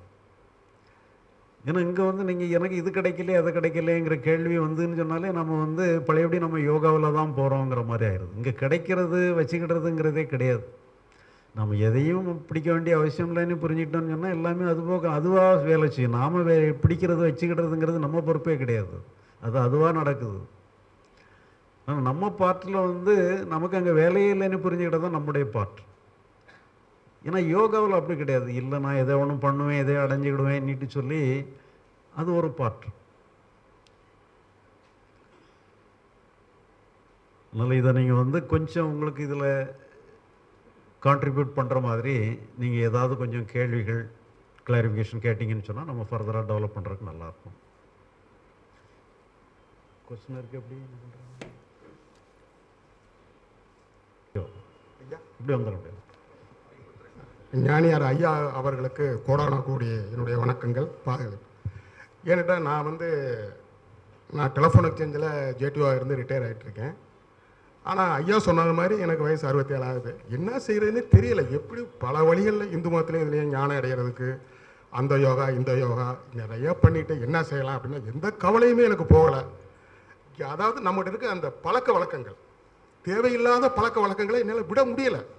நானும் ஹீலர் பாஸ்கர் அவர்கள் சொன்னாங்க. அதில் அந்த நெட்டில் பார்க்கும்போது ஐயா அவர்களை பற்றி அவங்க ஒரு வார்த்தை சொன்னாங்க. உங்களுக்கு குரு யாருன்னு கேட்டால் எனக்கு ஹீலர் பாஸ்கரே சொ சொல்லிட்டார். எனக்கு குரு ஐயா அவர்களே என்று ஒரு பேட்டியில் சொல்லியிருக்காரு. எனக்கு ரொம்ப இதாகி போச்சுன்னா இவருக்கு ஐயா அவர்கள் அப்படி எப்படி பார்க்குறதுன்னு பார்த்து நெட்டில் பார்த்தா அம்பத்தூரில் அந்த முகவரி இருந்தது. அங்கே போய் ஐயா அவருடைய சீடி ஞானமலர் நீங்களும் ஞானி ஆகலாம்ங்கிற சீடியெல்லாம் ஒரு ஆயிரம் ரூபாய்க்கு நான் சீடி வாங்கினேன். வாங்கி எனக்கு தினம் காலையில் போட்டு பழக்கிறாங்க பயங்கரமான கெட்ட பழக்கங்கள்னா என்ன கெட்ட பழக்கங்கள்? ஏதாவது பார்க்கறது நமக்கு பிடிக்காத பழக்கங்களை விட முடியலை. ஒரே ஒரு தடவை நீங்களும் ஞானியாகலங்கிறத நான் பார்த்தேன். அந்த பழக்கம் என்கிட்ட இல்லை. நெருப்பில் போகிற மாதிரி அத்தனை பழக்கமும் போயிடுச்சு எனக்கு அதை பார்க்கணும் அதை நினைச்சாலே எனக்கு என்னன்னு கேட்டால் கம்ப்ளீட்டாக பிரச்சனை ஞானியாகணும் இல்லையா? அது ரெண்டாவது பிரச்சனை. அத்தனை பழக்கங்களும் போகிறது உறுதிங்க. இது வரைக்கும் எத்தனையோ புஸ்தகம் படிச்சிருக்கேன். எவ்வளவோ பார்த்துருக்கேன். அந்த நீங்களும் ஞானி ஆகலாம் ஞானமலர் அந்த வீடியோவை பார்த்த உடனே பயங்கரமான ஒரு இது. திருவண்ணாமலை ஐயா அவர்கள் ஒரு ஃபாரினர்ஸ் வந்து கேட்டாங்களாம் ஐயா அவர்கள் ரொம்ப கேட்காத கேள்வியை கேட்டிருக்காங்க. ஐயா அவர்களுக்கு தெரியும். ஒரு அழகான பெண்ணை பார்த்தா நீங்கள் என்ன செய்யும் அப்படின்னு அவர் ஹீலர் பாஸ்கர் சொன்னார். நான் நல்லா பார்த்து ரசிப்பினேன் அப்படின்னா ஐயா. ஹீலர் பாஸ்கருக்கே அவ்வளோ நொந்து போயிட்டார் அவர். என்ன ஐயா இப்படி பேசுகிறார் அப்படின்னு. ஆமாம் ஒரு அழகான அது இறைவன் படைச்சிருக்கார். பார்ப்பேன் பார்த்துட்டு போய்கிட்டே இருப்பேன் அப்படின்னு பாருங்க. அந்த தண்ணியில் ஓடையில் போகிற மாதிரி போயிட்டே இருப்பேன் அப்படின்னு ஒரு பதில் சொல்ல உடனே ஹீரர் பாஸ்கர் அன்னைக்கே அவர் ஆஹா இந்த மாதிரி ஒரு பதில் இது வரைக்கும் நான் கேட்டதே இல்லை அப்படின்னு சொல்லியிருக்காரு. அதனால் இப்போ நான் ஒரே ஒரு கேள்வி மட்டும் கேட்டுக்கிறேன். என்னன்னு கேட்டால் ஞானம் அடைகிறதுக்கு ஐயா ரொம்ப எளிமையான வழியை சொல்லியிருக்காரு. ஆனால் சில இந்த யோகா சொல்கிறாங்க வாசி யோகம் பண்ணாதே அடைய முடியும். குண்டலினி சக்தி எழுப்பினாதே அடைய முடியும். அப்படின்னு சொல்கிறாங்க அதுக்கு மட்டும் ஐயா எனக்கு கொஞ்சம் ஒரு விளக்கம் சொன்னான் கொஞ்சம் ரொம்ப ந- நல்லா இருக்கும் இன்னும் ஒரே ஒரு கேள்வி அது வந்து அப்பாற்பட்ட கேள்வி அப்படின்னு கேட்டால் நம்ம வந்து நம்ம இந்து மதத்தில் என்ன சொல்லியிருக்குன்னு கேட்டால் பரமாத்மாவிலேருந்து நம்ம வந்து நம்ம உயிர் ஆத்மா இருக்குது திருப்பி இந்த நம்ம இறந்த பிறகு இந்த ஆத்மா அங்கேயும் தான் போய் சேருது அப்படின்னு சொல்லி மேக்ஸிமம் மதங்கள் சொல்கிறாங்க ஐயா சொல்லியிருக்காங்க இந்த இது வந்து அங்கே போய் அடைய வேண்டிய அவசியம் கிடையாது. எங்கே வேணாலும் போகலாங்கிறாங்க அது என்ன ஆகுது? அது எப்படி இருக்குங்கிறது எனக்கு ஒன்றும் புரியலை. இது ரெண்டுக்கு மட்டும் ஐயா சொன்னால் போதும். ஆனால் ஞானம் அடைகிறதுக்கு அது வேண்டான்னு எனக்கு தெரியும். வாசி யோகம் எல்லாம் தேவையில்லைன்னு தெரியும். அந்த வாசி யோகமும் குண்டலின் சக்தியும் தேவையா? இந்த ஆன்மா எங்கே போகுது திருப்பி மறுபடியும் இருக்கா? இதுக்கு மட்டும் ஐயா கொஞ்சம் விளக்கம் சொன்னாருன்னா எனக்கு கொஞ்சம் ரொம்ப நன்மையாக இருக்குன்னு கே கேட்டுக்கிறேன். வேற ஒன்றும் இல்லை. நன்றி. இந்த ஆன்மா பிறவிங்கிறதெல்லாம் நம்ம நாளைக்கு டாப்பிக்கில் வச்சுக்கிடுவோம். இப்போ இந்த முதல் கேள்வி நம்ம இப்போ இன்னைக்குள்ள டாப்பிக்கில் ரிலேட்டடாக இருக்கிறதுனால அதை மட்டும் எடுத்துக்கிடுவோம். அதே நாளைக்கு கவர் பண்ணிடுவோம். நீங்கள் சொன்ன இது கேள்வியை நாளைக்கு கவர் பண்ணுவோம். இப்போ இந்த யோகாவில் வந்து என்னன்னு சொன்னாங்கன்னா எல்லாத்துலேயுமே பலன் இருக்குது. இப்போ புத்தர் வந்து இப்போ இன்றைக்கி வரைக்கும் கூட அவங்களுடைய இதில் வந்து இன்னும் யோகாக்களுக்கு சொல்லி கொடுத்துட்டு தான் இருக்கிறாங்க. எல்லா நிறுவனங்கள்லையுமே யோகா தியானங்கள் எல்லாம் சொல்லி கொடுத்துட்டு தான் இருக்கிறாங்க. அதுக்கு எல்லாத்துக்கும் பயன் இருக்குது ஆனால் என்னென்னு சொல்லி சொன்னால் அதெல்லாம் நம்மளை வந்து ஒரு ஒரு ஆரம்ப காலத்துக்கு நமக்கு தேவை. இப்போ இல்லை இந்த இதெல்லாம் நீங்கள் பண்ணலைன்னா என்ன பண்ணுவீங்கன்னு சொன்னால் இந்த உலகியலில் உள்ள அந்த பிரச்சனைகளில் தான் மாட்டிக்கிட்டு அங்கே தான் கஷ்டப்பட்டுட்டு இருப்பீங்க. அப்போ உங்களை அங்கேருந்து இங்கே வழி நடத்தி கொண்டு வர்றதுக்காக ஒரு டிரான்சிட்டரி பீரியட் மாதிரி இந்த மாதிரி யோகாலாம் பயன்படுது. இதில் வந்து இப்போ உடலை நம்ம வச்சுக்கிடுறதுக்கு மனசை வச்சுக்கிடுறதுக்கெல்லாம் கூட சில வகையில் உதவி பண்ணும். இப்போ பிராணாயமெல்லாம் பண்ணுறது வந்து உடல் நலத்துக்கு நல்லாயிருக்கும் அது ஆனால் அது எல்லாத்தையுமே ஒரு அளவோடு வச்சுக்கிடணும். இப்போ எல்லாம் வந்து தியானங்கள்லாம் பண்ணிக்கிட்டு நிறைய நிறைய உபாதைகளோடு இருக்கிறவங்களும் நிறையா இருக்கிறாங்க. எனக்கு நிறையாவும் ஃபோன் பண்ணுறாங்க நிறைய பேர் நேரில் கூட வராங்க. தியானம் பண்ணதுனால நிறைய பாதிக்கப்பட்டதெல்லாம் சொல்கிறாங்க அப்போல்லாம் சொன்னால் கொஞ்சம் அளவுக்கு மீறி பண்ணுறதுனால அதுலேயுமே நிறைய பிரச்சனைகள் வருது. அதனால் ஒரு அளவோடு வச்சுக்கிடலாம். ஆனால் அது வந்து நம்ம உடல் நலத்துக்கு வச்சுக்கிடலாம் மனநலத்துக்கு கூட வச்சுக்கிடலாம். ஒரு அளவோடு வச்சுக்கிட்டால் நல்லது. அது அந்த வகையில் அது உதவின்னு சொல்லலாம். ஆனால் ஞானத்துக்கும் அதுக்கும் சம்மந்தமே கிடையாது. அது வந்து நம்மளை வந்து ஏதோ ஒரு வகையில் ஒரு என்டர்டெயின் பண்ணுற மாதிரி அது. இப்போ இது வந்து ஒரு நம்மளை வந்து லிபரேட் பண்ணுறது நம்ம முழு முக்தி அடைகிறது லிபரேட் பண்ணுறதுங்கிறது வேறு. இதை வந்து நம்ம சைக்கலாஜிக்கலாக நமக்கு ஒன்றுமே பண்ணலாங்கும் பொழுது மனசு அதுவாக இயங்குது. அதுவாக இயங்கும்போது நாம் அதை இயக்கக்கூடாது. நாம் இயக்கிறது வேறு அதுவாக இயங்கிறது வேறு. இப்போ நம்ம வந்து நம்ம சுவாசம் இயங்குது. சுவாசம் அதுவாக தான் இயங்குது. ஆனால் நீங்கள் நினச்சிங்கன்னு சொன்னால் கொஞ்சம் நீங்களும் அதை இயக்கிக்கிடலாம். கொஞ்சம் நிப்பாட்டிக்கிட்டு விடனா விட்டுக்கிடலாம். கொஞ்சம் நேரம் அடக்கி வச்சுக்கிடலாம். என்ன வேணாலும் பண்ணிக்கிடலாம். ஆனால் இருந்தாலும் அது மேக்ஸிமம் அதுவாக இயங்குதுங்கிறத தெரிஞ்சுக்கிட்டாங்கன்னா நீங்கள் அது சம்மந்தமாக நீங்கள் ஒன்றுமே பண்ண வேண்டியதில்லை. இப்போ இதே மாதிரி நம்முடைய மனசுமே வந்து நீங்கள் மனசை நீங்கள் கொஞ்சம் ஆப்ரேட் பண்ணவும் செய்யலாம். அந்த ஆப்ரேட் பண்ணுறது என்னங்கன்னா சொன்னால் இந்த யோகா பண்ணுறதெல்லாம் நம்ம ஆப்ரேட்டிவாக பண்ணுற மாதிரி அது. அது அதுவாக விட்டுட்டோம்னு சொன்னால் லிபரேட்டாக விட்டுற மாதிரி. இப்போ இது வந்து நான் நீங்கள் இந்த ஆப்ரேட் பண்ணுறது வந்து நீங்கள் புறச்செயல்களுக்கெல்லாம் கூட மனசை நீங்கள் பயன்படுத்திக்கிடலாம். அகத்துக்கு வந்து உணர்ச்சிகளை சரி பண்ணுறேன் உங்களை ஸ்டெபிளைஸ் பண்ணுறேங்கிறதுக்கு அகத்தை பொறுத்தளவு நீங்கள் ஒன்றுமே பண்ணாமல் விட்டுட்டீங்கன்னு சொன்னால் அப்போ அது ஒரு நேச்சுரல் ப்ராசஸில் இருக்கும். அப்போ மனதோடைய நேச்சுரல் ப்ராசஸை நீங்கள் கண்டுபிடிச்சிட்டிங்கன்னு சொன்னால் அந்த நேச்சுரல் ப்ராசஸை கண்டுபிடிக்கிறது தான் நம்ம அண்டர்ஸ்டாண்டிங்னு சொல்கிறோம் அதுக்கு வந்து இப்போ யோகாங்கிறது ஒரு ப்ரிலிமினரி இது. அந்த ப்ரிலிமினரிக்கு அது தேவை தான் வணக்கம் ஐயா. நான் ஒரு வாரத்துக்கு முன்னாடி உங்கள் ஃபோன்லலாம் எல்லாம் பேசி காண்டாக்ட் பண்ணியிருந்தேன். நீங்கள் தான் சொல்லியிருந்தீங்க இந்த மாதிரி ஒரு முகாமில் இருந்து கலந்துக்குங்க அப்படின்னு சொல்லிட்டு. இப்போ ஒரு ரெண்டு மூணு கொஸ்டின்ஸ் இருக்குது நான் வரிசையாக ஒன்று ஃபஸ்ட்டு ஒன்று கேட்டுறேன் அதுக்கு பதில் சொல்லிடுங்க இப்போ சில மெடிடேஷன் போனால் மைண்டுக்கு ஒரு பவர் இருக்க மாதிரியே அவங்க க்ரியேட் பண்ணிடுறாங்க. அதனால் ஒரு தாட்டு ஒன்று வந்துச்சு அப்படின்னா அது திரும்ப திரும்ப வந்துச்சு அப்படின்னா அது நடக்கும் அப்படிங்கிறாங்க. மைண்டுக்கு அப்படி ஒரு பவர் இருக்கா? ஒரு நினச்சோம் அப்படின்னா திரும்ப திரும்ப ஒரு விஷயத்தை நம்ம நினைக்கிறோம் அப்படின்னா அது நடக்குமா நடக்காதா? அதாவது இப்போ நீங்கள் சொல்கிறது வந்து மனதினுடைய பவர் பற்றி சொல்கிறீங்க இப்போ அது நிறையா அதில் மாதிரி ப்ராசஸ் எல்லாம் இருக்குது. இப்போ இதெல்லாம் நீங்கள் விட சொன்னால் யோகாவோட சேர்ந்தது. யோகாவோட தான் சேர்ந்தது ஒழிய ஞானங்கிறது என்னன்னு சொன்னால் இப்போ நீங்கள் வந்து ஒன்றுமே செய்ய வேண்டியதில்லைங்கிறது கண்டுபிடிக்கிறது? தான் உங்களை ஒன்றுமே செய்ய வேண்டியதில்லைன்னு கண்டுபிடிக்கிறதுக்கு இதுக்கும் சம்மந்தம் இல்லை. அது வந்து இது வந்து நமக்கு ஒன்றுமே இப்போ எதையாவது பண்ணி ஏதாவது அடையிறதுங்கிற ஒரு டாப்பிக்கில் நீங்கள் சொல்கிறீங்க இப்போ இதெல்லாம் யோகா கிளாஸிஃபிகேஷனில் தான் வருது. அந்த மாதிரி நான் கேட்கல மைண்டு ஒரு விஷயத்த திரும்ப நினச்சிக்கிட்டு இருக்குன்னா ரைட்டு நீங்கள் சொல்கிற புரியுது எனக்கு. இப்போ இது வந்து என்னன்னு சொல்லி சொன்னால் இப்போ ஏதோ ஒரு வகையில் உங்களுடைய மனசுக்கு வந்து சில சக்திகள் கிடைக்குது. அதாவது ஒரு சொல்லப்போனால் உங்களுக்கு முயற்சியை கொண்டு வருது ஒரு தன்னம்பிக்கையை கொண்டு வருது. தன்னம்பிக்கையை கொண்டு வர்றதுக்கு இந்த மாதிரி நம்பிக்கைகள் ஒன்று நடக்கும்னு நினச்சிங்கன்னா தான் நீங்கள் அது சம்மந்தமான முயற்சிகளே வரும். இப்போ நீங்கள் ஒன்று நடக்கும்னு நினச்சி நீங்கள் வீட்டை ரூமை பூட்டிக்கிட்டு உட்காந்துருந்தீங்கன்னு சொன்னால் அதெல்லாம் நடக்காது.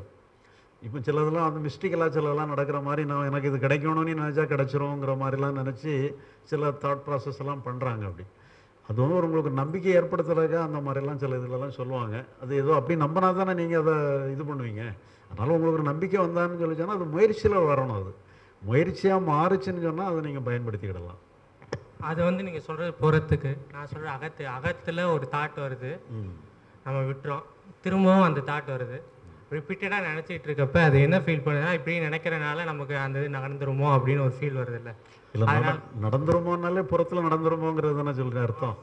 அகத்தில் நடந்துருமோங்கிறது தான் இப்போ நம்ம கேள்வி என்னன்னு சொன்னால் அகத்தை பொறுத்தளவில் நீங்கள் எதையாவது நடக்கிற நினைக்கிறதுனால போகிறதுனாலன்னு சொன்னால் உங்கள் அகம் என்ன ஆகுது? சொல்லி சொன்னால் அகத்தை நீங்கள் சுதந்திரமாக விட்டுறணும் அவ்வளோதான் அகத்துக்குள்ளே வந்து நீங்கள் உங்களை வந்து ஏதோ ஒரு வகையில் உங்களை அரெஸ்ட் பண்ணி உங்களை வந்து இது பண்ணணுங்கிற அவசியம் இல்லை. மனசை வந்து சுதந்திரமாக விடுறதுங்கிறது வேறு கட்டுப்படுத்துறதுங்கிறது. இப்போ நீங்கள் இதெல்லாம் பண்ணுறதெல்லாம் ஏதோ ஒரு வகையில் கட்டுப்படுத்துறது இது புறத்துக்காக பண்ணிக்கிடலாம். அகத்துக்காக பண்ண வேண்டியதில்லை. அகத்தை பொறுத்தளவில் நீங்கள் உங்களுக்கு அடையிறதுக்குன்னு சொல்லி எந்த ஸ்டேட்டுமே கிடையாது. ஏன்னா நீங்கள் வந்து அங்கே விட்டுட்டு போகிற ஸ்டேட் விட்டுட்டு போகிறதுல போய் நீங்கள் அடையிற விட்டு ஒன்று வச்சுக்கணும்னு கிடையாது. அதனால் அகத்தை பொறுத்த அளவில் விடுறதுக்கு தான் படிக்கணும். விடுறதுக்கு படிச்சேன்னு சொன்னால் அங்கே ஒன்றுமே செய்யாமல் இருந்தால் விடுறதுக்கு படிச்சிடுறோம். அங்கே நீங்கள் வந்து இதெல்லாம் பண்ணுறதுனால அகத்தை பொறுத்தளவு அடையிறதுக்கு படிச்சிடுறீங்க. அடையிறதுக்கு படிக்கக்கூடாது. அது வந்து ஒரு ஆரம்ப காலத்துக்கு நீங்கள் அடையிறதுக்கு படிக்கலாம். பிறகு நீங்கள் விடுறதுக்கு படிச்சுக்கணும். விடுறதுக்கு படிச்சீங்கன்னா ஒன்றும் செய்ய வேண்டியதில்லைங்கிறத புரிஞ்சுக்கிடணும் அப்போ எப்படிப்பட்ட எண்ணம் வந்தாலும் அதை ஒன்றும் செய்ய அப்படியே விட்டுட்டோம் அப்படின்னா அதுவாக போயிடும் அப்படிங்கிற ஆமாம் இப்போ இது வந்து அகத்தை பொறுத்தல இப்போ நீங்கள் புறத்துக்காக விட்டுட்டீங்கன்னு சொல்லி சொன்னால் நான் என்ன அகந்த அகத்தில் இவங்களுக்கு இப்படி ஆயிருமா நல்லா தான் இருப்பாங்க லைஃப்பில் சில விஷயங்கள் நடந்திருக்கும். அதோட பாதிப்புனால இப்படி ஆயிருமோ அப்படி ஆயிருமோன்னு நினைக்கும் நான் நம்ம நீங்கள் கேட்டதுக்கப்புறம் அந்த மைண்டை விட்டுருவேன். அதுக்கப்புறம் திரும்ப அந்த ஒரு தாட்ஸ் வரும் அப்பயும் விட்டுருவேன். நான் என்ன கேட்குறேன்னா அப்படி நினைக்கிறதுனால அவங்களுக்கு எதாவது பாதிப்பு வருமான்னு கேட்குறேன் இல்லை அது அது அது கூட நீங்கள் புறத்தில் தானே பண்ணுறீங்க புறத்தில் நீங்கள் உங்களை நினைக்கிறதுனால புறத்தில் எதாவது நடந்துருமோன்னு பயப்படுறீங்க. அதை நீங்கள் இப்போ நீங்கள் அகத்தை பொறுத்தளவில் நீங்கள் கேள்வி இல்லை. முழுக்க முழுக்க அகத்தில் என்ன ஏற்படுதுங்கிறது மட்டும்தான் தான் அகத்தை பொறுத்தளவுலன்னு சொல்லலாம். இது நீங்கள் புறத்தை லைட் பண்ணி தான் கேட்குறீங்க அது புறமாயிருது புறமாயிருது. அதனால் இப்போ அகத்தை பொறுத்தளவுலன்னு சொல்லி சொன்னால் மனசில் என்ன உணர்ச்சி வந்தாலும் வந்துட்டு போட்டுன்னு விட்டுற வேண்டியதுதான். அதில் வந்து இப்போ நீங்கள் வந்து உங்கள் மனசை சரி பண்ணுறது நோக்கம் கிடையாது. புறத்தில் இப்படி ஆயிருமோ அப்படி ஆயிருமோ அந்த நினைப்பு வந்துன்னா புறத்தில் இப்படி ஆயிருமோன்னு சொல்லி நினைச்சு நீங்கள் அப்படி பயப்படுறீங்க. இப்போ புறத்தில் வந்து நம்ம டீல் பண்ணத்தான் செய்யணும். புறத்துக்கு என்ன பண்ணணுமோ அதை நம்ம பண்ணத்தான் செய்யணும். அதுக்கு என்ன உண்டோ அதை பண்ணணும். இப்போ அகத்தை பொறுத்தல நீங்கள் எப்படி வச்சுக்கிடணும்னு சொல்லி நீங்கள் அகத்துக்குள்ளே எந்த நிலையுமே நீங்கள் மெயின்டைன் பண்ண வேண்டிய அவசியம் இல்லை. ஏன்னா அகத்தில் வந்து உயர்ந்த நிலை தாழ்ந்த நிலைன்னு சொல்லி ஒன்றுமே கிடையாது. அகத்தில் ஏதாவது உயர்ந்த நிலை ஒன்று இருந்ததுன்னா அதை மெயின்டைன் பண்ண வேண்டிய கடமை நமக்கு வந்துடுது நீங்கள் ஒரு அமைதியாக இருக்கணும் நீட்டு ஒரு ஒரு முயற்சி ஒரு ஒரு டார்கெட் வச்சுருந்தீங்கன்னு சொன்னால் அந்த அமைதிக்கு என்ன பண்ணணுமோ அதை பண்ணணும். அதே மாதிரி நீங்கள் ஒரு அலையில்லாத தன்மையாக இருக்கணும்னு சொன்னால் அப்போ அதுக்காக முயற்சி பண்ண வேண்டியிருக்கும். ஆனால் நீங்கள் அகத்தை பொறுத்தவரை நீங்கள் எப்படி இருந்தாலும் ஓகே தான். நீங்கள் எப்படி இருந்தாலும் ஓகேங்கிற இடத்துல முயற்சிக்கு அவசியமே இல்லை. இப்போ இதே மாதிரி தான் வந்து ஒரு கோயம்புத்தூரில் இருக்கிறாங்க. ஒரு லேடி. அவங்க வந்து எந்த தியானமும் பண்ணதவும் பண்ணதில்லை. ஆனால் பிறப்புல இருந்தே அவங்களுக்கு சில எக்ஸ்பீரியன்ஸ் எல்லாம் வந்துக்கிட்டே இருக்கும். அவங்க வந்து அவங்க முற்பிறவியில் வந்து ராமகிருஷ்ண பரமம்சருக்கு டைரக்ட் டிசைப்பிளாக இருந்ததாக அவங்கள பற்றி சொல்கிறாங்க இப்போ அவங்க வந்து எதுவுமே பண்ணுறதில்ல பிறப்புலேருந்தே அவங்களுக்கு தவம் தியானங்கள்லாம் தானாகவே வரும். சமாதி நிலைக்கு போயிடுவாங்க. அவங்களுக்கு நிறைய டிவோட்டிஸ்லாம் இருக்கிறாங்க. அப்போ ஒரு நாள் அவங்க என்கிட்ட பேசிகிட்டு இருந்தாங்க ஃபோனில் அப்போ எனக்கு வந்து ஒரு ஒரு பரவச நிலை ஏற்படுதியா? அந்த நிலை ஏற்படும் பொழுது நானே கடவுளாக இருக்கிற மாதிரி எனக்கு ஃபீலிங் ஆகுது. இதுதான் இருக்கிற நிலைகளிலே உயர்ந்த நிலைங்கிற மாதிரி எனக்கு தோணுது. இதை பற்றி நீங்கள் என்ன சொல்கிறீங்கன்னு சொல்லி கேட்டுட்டு இருந்தாங்க. அப்போ அவங்ககிட்ட பேசிக்கிட்டு இருந்தோம். இது உண்மையிலே உயர்ந்த நிலை தான் ஒரு சாதாரணமாக யாருக்கும் இப்படி கிடைக்காது. ஒரு சராசரி மனிதன் வந்து இந்த மாதிரி நிலை அடையணும்னு சொல்லி சொன்னால் தவ தியானங்களில் ஈடுபட்டு தான் அந்த நிலையை வந்து அடைய முடியும். சும்மாலாம் கிடைக்காது. ஆனால் நீங்கள் வந்து எந்த முயற்சியுமே பண்ணாமல் உங்களுக்கு இயற்கையிலே கிடச்சிதுன்னு சொன்னால் நீங்கள் பெர்த்லேயே ஏதோ ஒரு வகையில் ஒரு ஒரு கிஃப்டட் பர்சன் தான். அதில் ஒன்றும் சந்தேகமே இல்லை. ஆனால் அதே நேரத்தில் இந்த மாதிரி ஒரு பரவச நிலை ஏற்படுறதுக்கு பதிலாக உங்களுக்கு ஏதோ பய பயமோ கோபமோ வருத்தமோ அல்லது ஏதோ அருவருப்பான ஏதோ உணர்ச்சிகளோ ஏற்பட்டதுன்னு சொன்னால் அந்த உணர்ச்சிகளுக்கும் இந்த பரவச நிலைக்கும் எந்த வித்தியாசமே கிடையாது. அது எந்த உணர்ச்சியாக இருந்தாலும் வரணும் போகணும் அவ்வளோதான் நீங்கள் எதையாவது உயர்ந்த நிலையை நீங்கள் பிடிச்சி வச்சீங்கன்னு சொன்னால் அதான் ப்ராப்ளம் அதனால் அந்த அகத்தை பொறுத்தளவில் நமக்கு ஒரு ஸ்டாண்டர்டுன்னு ஒன்றுமே கிடையாது. நம்ம ஒரு ஸ்டாண்டர்டுன்னு சொல்லி வச்சோம்னு சொன்னாலே நமக்கு முயற்சி வந்துடும் பிறகு செய்கிறதுக்கு ஏதாவது ஒன்று வந்துடும் அதனால் அகத்தை பொறுத்தில் நமக்கு எல்லா ஸ்டாண்டர்டையும் விட்டுறணும் நீங்கள் நிறைய அடிச்சிடும் நீங்கள் புறத்தில் வச்சுக்கிடுங்க ஸ்டாண்டர்டெல்லாம் புறத்தில் வச்சுக்கிடுங்க அகத்தில் வந்து நான் அடையிறதுனால இது உயர்ந்த நிலை இது தாழ்ந்த நிலைன்னு சொல்லி வச்சுட்டோம்னு சொன்னால் பிரச்சனைகள் வந்துடும் அங்கே எந்த ஸ்டாண்டிங் அந்த அதே மாதிரி ஒரு லிஸ்ட் வச்சுருந்தீங்கன்னா அந்த லிஸ்ட்டு முதல்ல தூக்கி கீழே போட்டுறணும் நகத்தை பொறுத்தளவில் எந்த லிஸ்ட்டுமே இருக்கக்கூடாது நேச்சுரலாக இருக்கணும் அது நேச்சுரலாக இருந்ததுன்னு சொல்லி சொன்னால் நேச்சுரலாக இருக்கிறது தான் கரெக்டு நீங்களாக க்ரியேட் பண்ணிங்கன்னா கிரியேட்டட் ஸ்டேட் எல்லாமே ஒர்ஸ்ட்டு தான். அதனால் நேச்சுரலாக எது வந்தாலும் அதில் வந்து மோசமான உணர்ச்சியே வந்தாலும் அதுதான் பெஸ்ட்டு அது. அதனால் அந்த அகத்தை பொறுத்தளவில் நேச்சுரலாக இருக்கணும். நேச்சுரலாக இருக்கிறாங்கன்னா சொன்னால் எல்லாம் மொமெண்ட்ரி தான். வரும் போயிடும் அவ்வளோதான் அதனால் அங்கே நமக்கு எந்த வேலையுமே கிடையாது. நீங்கள் வேலையில் இறங்கிட்டீங்கன்னு சொன்னால் பிளாக் ஆயிரும் போராட்டம் வந்துடும் எல்லாம் வந்துடும் அதனால் அகத்தை பொறுத்தவரை நம்ம வேலை இல்லைங்கிறத புரிஞ்சுக்கிடும் இப்போ அகத்தை பொறுத்த வரைக்கும் என்ன வேணால் எனக்குன்னு சொல்கிறேங்க நான் இப்போ புறத்தோட ஒன்று லிங்க் பண்ணுறேன்னு சொல்ல அதுவும் அகத்தில் நினைக்கிறது தானே? நம்மளே அதான் கரெக்டு தான். இப்போ இதில் என்னன்னு சொல்லி சொன்னால் புறத்துக்கு வந்து நாம் வந்து எதையாவது ஒன்று பண்ணுறோன்னு சொன்னால் எல்லாமே மனசை வச்சு பண்ணுறது தான். மனதினுடைய உதவி இல்லாமல் நீங்கள் புறத்தில் எந்த வேலையுமே பண்ண முடியாது. ஆனால் அந்த மனசை வந்து மனசை இது சரி பண்ணுறதுக்காகவே மனசை பயன்படுத்துகிறது தான் தப்பு. நீங்கள் மனசை வச்சு எல்லா காரியங்களுக்கும் பயன்படுத்திக்கிடுங்க. மனசை வச்சு மனசை சரி பண்ணுற வேலையில் மட்டும் இறக்கிறாங்க இப்போ நீங்கள் அந்த மாதிரி விட்டுட்டீங்கன்னா போதும். மனசை வச்சு தான் செய்கிறீங்க மனசை வச்சு தான் புறத்தில் எல்லா வேலையும் செய்ய முடியும். மனசு உதவி பண்ணலைன்னா புறத்தில் எந்த வேலையுமே செய்ய முடியாது. அதுக்கு நீங்கள் பயன்படுத்திக்கிடுங்க. அதை நம்ம இன்னும் கொஞ்சம் டீட்டெயில்டாக நம்ம அடுத்த செஷனில் பார்ப்போம். இன்றைக்கி தான் பார்க்குறோம். அடுத்த செஷனில் பார்ப்போம். இன்னும் எனக்கு கிளியர் ஆகலை. ஓகேங்களா? எந்த அளவுக்கு புரிஞ்சுக்கிறேன்னு தெரியல இருந்தாலும் திரும்ப அதே கொஸ்டினை திரும்ப கேட்குறேன் இப்போ அந்த எண்ணம் வருது அப்படின்னா அது ந நடக்குமா நடக்காதா நமக்கு தெரியாது. ஆனால் அது அகம் தானே அது. அகம் வந்து இப்படி நினைக்கும் தானே எடுத்துக்கணும் ஆமாம் அதை அந்த அகத்தில் நீங்கள் எடுத்துக்கிடுங்க. நீங்கள் அதில் குற்றம் கண்டுபிடிக்காதுங்க. இப்படி ஒரு குற்றம் கண்டுபிடிக்கல. நான் இப்போ எப்படி விடுறேன் அப்படின்னா அந்த எண்ணம் வருது வந்துட்டு போகுது அவ்வளோதான் ஆமாம் வந்துட்டு போ அதை அது நடக்கும் அப்படின்னு உறுதி இல்லை. நடக்கும்னு நான் செயலா சொல்லலை. நடக்கும்னு சொல்லி சொன்னாலே நீங்கள் புறத்துக்கு போயிடுறீங்க. அப்போ புறத்துக்கு போகிறத பற்றி இப்போ கேள்வியே கிடையாது. அகத்துக்குள்ளே நீங்கள் எப்படி இருக்கணும்னு சொல்லி உங்களுக்கு ஒரு ஸ்டாண்ட் வந்துன்னு சொன்னால் அகத்தில் எனக்கு இந்த எண்ணம் வரலாம் இந்த எண்ணம் வரக்கூடாதுன்னு சொன்னால் முழுக்க முழுக்க அகம். அதில் வந்து உங்களுக்கு நீங்கள் இப்படி இருக்கணும் உங்கள் மனசை இப்படி வச்சுக்கிட்டா பரவாயில்ல இப்படி வைக்கிறது தப்புன்னு சொல்லி உங்களுக்கு ஒரு இது இருந்துன்னு சொன்னால் அதில் வந்து நீங்கள் கம்ப்ளீட்டாக நீங்கள் ஒன்றும் செய்கிறதுக்கு ஒன்றும் இல்லைங்கிறத ஒன்று புரிஞ்சுக்கணும் இப்போ ஒரு எண்ணம் வருது அப்படின்னா அதுக்கான உணர்வுகள் வந்து நமக்கு வருது. அதோட வழி இருக்கிறதுனால தான் நம்ம வந்து அந்த ஃபீல் பண்ணுறோம் இப்போ புக்தர்லாம் அவர் விட்டுட்டாரு அப்படிங்கிறீங்க உணர்வை விட்டுருங்க அப்படிங்கிறீங்க. அந்த உணர்வை வந்து அந்த வலி இருக்கும்போது அந்த வலியை என்ன என்ன பண்ணலாங்க? அப்படியே வி- விட்டு அதாவது எந்த அளவுக்கு ஃபீலிங் இருக்குதோ அப்படியே அதை நோட் பண்ணிகிட்டே இருந்தால் குறைஞ்சிருமா? இல்லை ஃபீலிங் வாட்டி இருக்கட்டும் அந்த வலி அதான் எப்படின்னா இப்போ காலையில் எந்திக்கிறேன் அப்படின்னா ஒரு பயம் உணர்வு மாதிரி இருந்துக்கிட்டே இருக்குது அது என்னென்னு. அதை நான் போக்குறது கேட்கல. அந்த ஃபீலிங்கை வந்து ஃபீல் பண்ணோம் அப்படின்னா அது போயிருமா? அப்படின்னு கேட்குறேன். இல்லை இப்போ நீங்கள் வந்து ஒருத்தர் இப்போ தெருவில் போகிற ஒருத்தர்கிட்ட போய் ஞானம் அடைகிறதுனா என்னன்னு அவர்கிட்ட கேட்டால் அவர் என்ன பதில் சொல்லுவார்? அவருக்கு தெரியாதுன்னு தெரியாதுன்னு சொல்லுவார். இப்போ இதே மாதிரி வந்து உங்களுடைய நீங்கள் கேள்விக்கு வந்து எனக்கு தெரியாதுன்னு சொல்லி நீங்களே பதில் சொல்லிட்டீங்கன்னு வச்சுடுங்க. நீங்க என்ன பண்ணுவீங்க? தெரியும்னா தான் நீங்கள் எதாவது வேலை செஞ்சுக்கிட்டு இருப்பீங்க. தெரியாதுன்னா என்ன வேலை செய்வீங்க?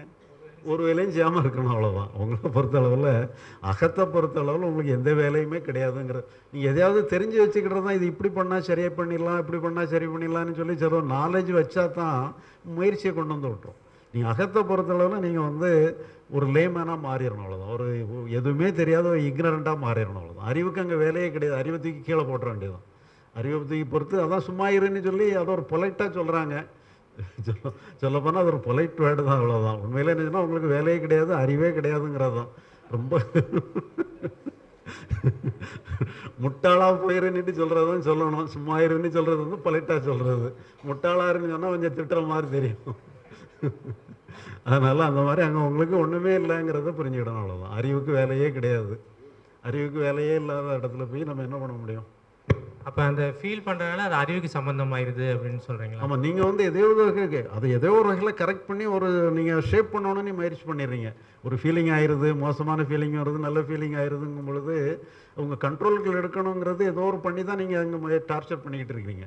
அதனால் உங்களுக்கு இனி என்ன பண்ணினாலும் அதை வந்து இடைஞ்சல் பண்ணுறது தாங்கிறத புரிஞ்சுக்கிட்டீங்கன்னு சொன்னால் என்ன பண்ணினாலும் நீங்கள் அது இடைஞ்சல் பண்ணுற மாதிரி தான். அதனால் நீங்கள் அதை வந்து அங்கே ஒரு வேலையுமே இல்லை நீங்கள் புரிஞ்சுக்கிட்டான்னா அந்த இது அண்டர்ஸ்டாண்டிங்கே வந்து வேற ஒரு கட்டத்துக்கு கொண்டு போயிடும். அப்படி இருந்துட்டு போ அப்படின்னா அதுவே மறைஞ்சிரும் அப்படிங்கிறீங்களா? இல்லை மறைஞ்சிரும்ங்கிறது தான் உண்மை. உண்மையிலே எல்லாமே வந்து ஒரு வினாடி நேரம் கூட கிடையாது. நாம் என்னதோ ஒன்று பண்ணி ரினியூவல் பண்ணிகிட்டு இருக்கிறோம். பட் இருந்தாலும் மறைஞ்சிரும்னுட்டு நம்ம ஒரு ஒரு ஒரு ஸ்டேட்மெண்ட்டை கையில் வச்சுக்கிட்டோம்னு சொன்னாலே இப்படி விட்டுட்டா மறைஞ்சிரும்னுட்டு பழையபடி ஒரு எதிர்பார்ப்பு வந்துடும் பழையபடி அது இன்னும் கண்டினியூ ஆகிட்டே தான் இருக்கும் அது. அதனால் அது எப்படி இருந்தால் கூட இருந்துட்டு போட்டுன்னு விட்டுருங்க அவ்வளோதான் அது பாட்டுக்கு போயிடும் ரொம்ப நன்றி. எப்போ ஓரளவுக்கு தெளிவாக இருக்கு? ஓகே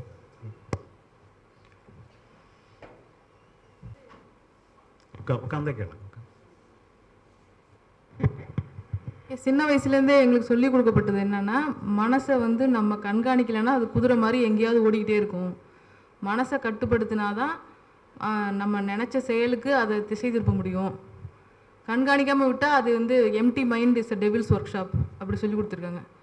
அது மாதிரி அதை ஃபாலோ பண்ணி கான்சென்ட்ரேட் பண்ணி படித்ததுனால தான் மார்க் வாங்குகிறோம் ஒரு செயலுக்கு வந்து ஒரு எண்ணங்கள் தேவைப்படுது. அது உற்பத்தி பண்ணி தான் செயல் பண்ணுறோம் அதையும் நீங்கள் அதையும் இக்னோர் பண்ணணும்னு சொல்கிறீங்களா எதை இக்னோர் பண்ணணும் எதை இக்னோர் பண்ணக்கூடாது? எதை எடுத்து செயல் புரியணும் எதை இக்னோர் பண்ணணும்? அதாவது இப்போ நீங்கள் சொல்கிறது வந்து ஒரு ஒரு ப்ரிலிமினரி ஆரம்ப காலத்தில் நம்ம அப்படி சொன்னால் தான் புரியும் அது. அதனால் பிகினர்ஸுக்கு கரெக்டு தான். அதில் ஒன்றும் தப்பு கிடையாது. நம்ம அடுத்த கட்டத்துக்கு போகணும். இப்போ இதில் வந்து என்னன்னு சொன்னால் அவங்களோட சைக்கலாஜிக்கல் ப்ராப்ளம் வந்து இருந்துக்கிட்டே தான் இருக்கும். நீங்கள் ஃபிசிக்கலாக சில காரியங்களை வெற்றி பெற்றிருப்பீங்க. சைக்கலாஜிக்கல் ப்ராப்ளம் வந்து கண்டினியூ ஆகிட்டு தான் இருக்கும். அப்போ சைக்கலாஜிக்கல் ப்ராப்ளத்தை வந்து அது உங்கள் கண்ட்ரோலுக்குள்ளே வராது. நீங்கள் விடணும்னு நினைச்சாலும் விட முடியாது. நீங்கள் பயப்படக்கூடாதுன்னு நினைப்பீங்க. பயம் வந்துக்கிட்டே இருக்கும். வருத்தப்படக்கூடாதுன்னு நினைப்பீங்க. வருத்தம் வந்துக்கிட்டே இருக்கும். இது நீங்கள் என்ன பண்ணணுன்னாலும் நீங்கள் இந்த மாதிரிலாம் சிந்தனைலாம் பண்ணி அதை உங்கள் கண்ட்ரோலுக்குள்ள எடுக்கவே முடியாது. ஒரு ஆரம்ப காலத்துக்கு ஏதோ ஒரு வகையில் உங்களை நெறிப்படுத்துறதுக்கு உங்கள் நீங்கள் என்ன செய்யணும்? இப்போ இது வந்து நீங்கள் புறச்செயல்களோட சம்மந்தப்பட்டோன்னு சொன்னால் நீங்கள் கடைசி வரைக்குமே கூட நீங்கள் என்ன பண்ணணும் பண்ணக்கூடாதுங்கிற இதை நீங்கள் வச்சுக்கிடலாம் நீங்கள் உங்களை சரி பண்ணணும் மனசு வந்து இப்படி இருக்கணும் மனசு இப்படி இருக்கக்கூடாது சொல்லி நீங்கள் அகத்தில் உங்களை சரி பண்ணுறதுக்குங்கிறது மட்டும்தான் நீங்கள் அதை விட்டுட்டீங்கன்னு சொன்னால் அது தானாகவே சரியாயிரும். அது சரியாகிறது தான் நம்ம சொல்கிறோம் அது விட்டுட்டு சும்மா விட்டுட்டீங்கன்னா தானாகவே சரியாயிரும். நம்ம சரி பண்ணணும்னு நினைக்க நினைக்க அது சரியாகாமலே போயிடும் அது. புறச்செயலுக்கு நீங்கள் கடைசி வரைக்கும் நீங்கள் திட்டம் போட்டு செயல்படத்தான் செய்யணும் முறைப்படுத்த தான் செய்யணும். அகத்தை பொறுத்த அளவில் நீங்கள் அப்படி ஒன்றும் பண்ண வேண்டியதில்லை. அப்போ ந நம்மளோட பிறவியோட நம்ம என்ன வேலை செய்யணும் அப்படின்றதெல்லாம் நம்மளால முடிவு எடுக்க முடியுமா? பிறவி? இந்த உலக நம்ம எந்த வேலை செய்யணும் எதுக்காக வந்திருக்கோம் அப்படின்றத நம்மளால தீர்மானிக்க முடியுமா? இல்லை உங்களுக்கு புறச்செயல்களுக்கு ஓரளவு உங்களால் பண்ண முடியும். முடிஞ்சு முழுந்த முழுக்க உங்கள் கையில் கிடையாது. உங்களால் முடிஞ்ச அளவில் நீங்கள் ஏதாவது ஒன்று பண்ணுறத பண்ணத்தான் சரி.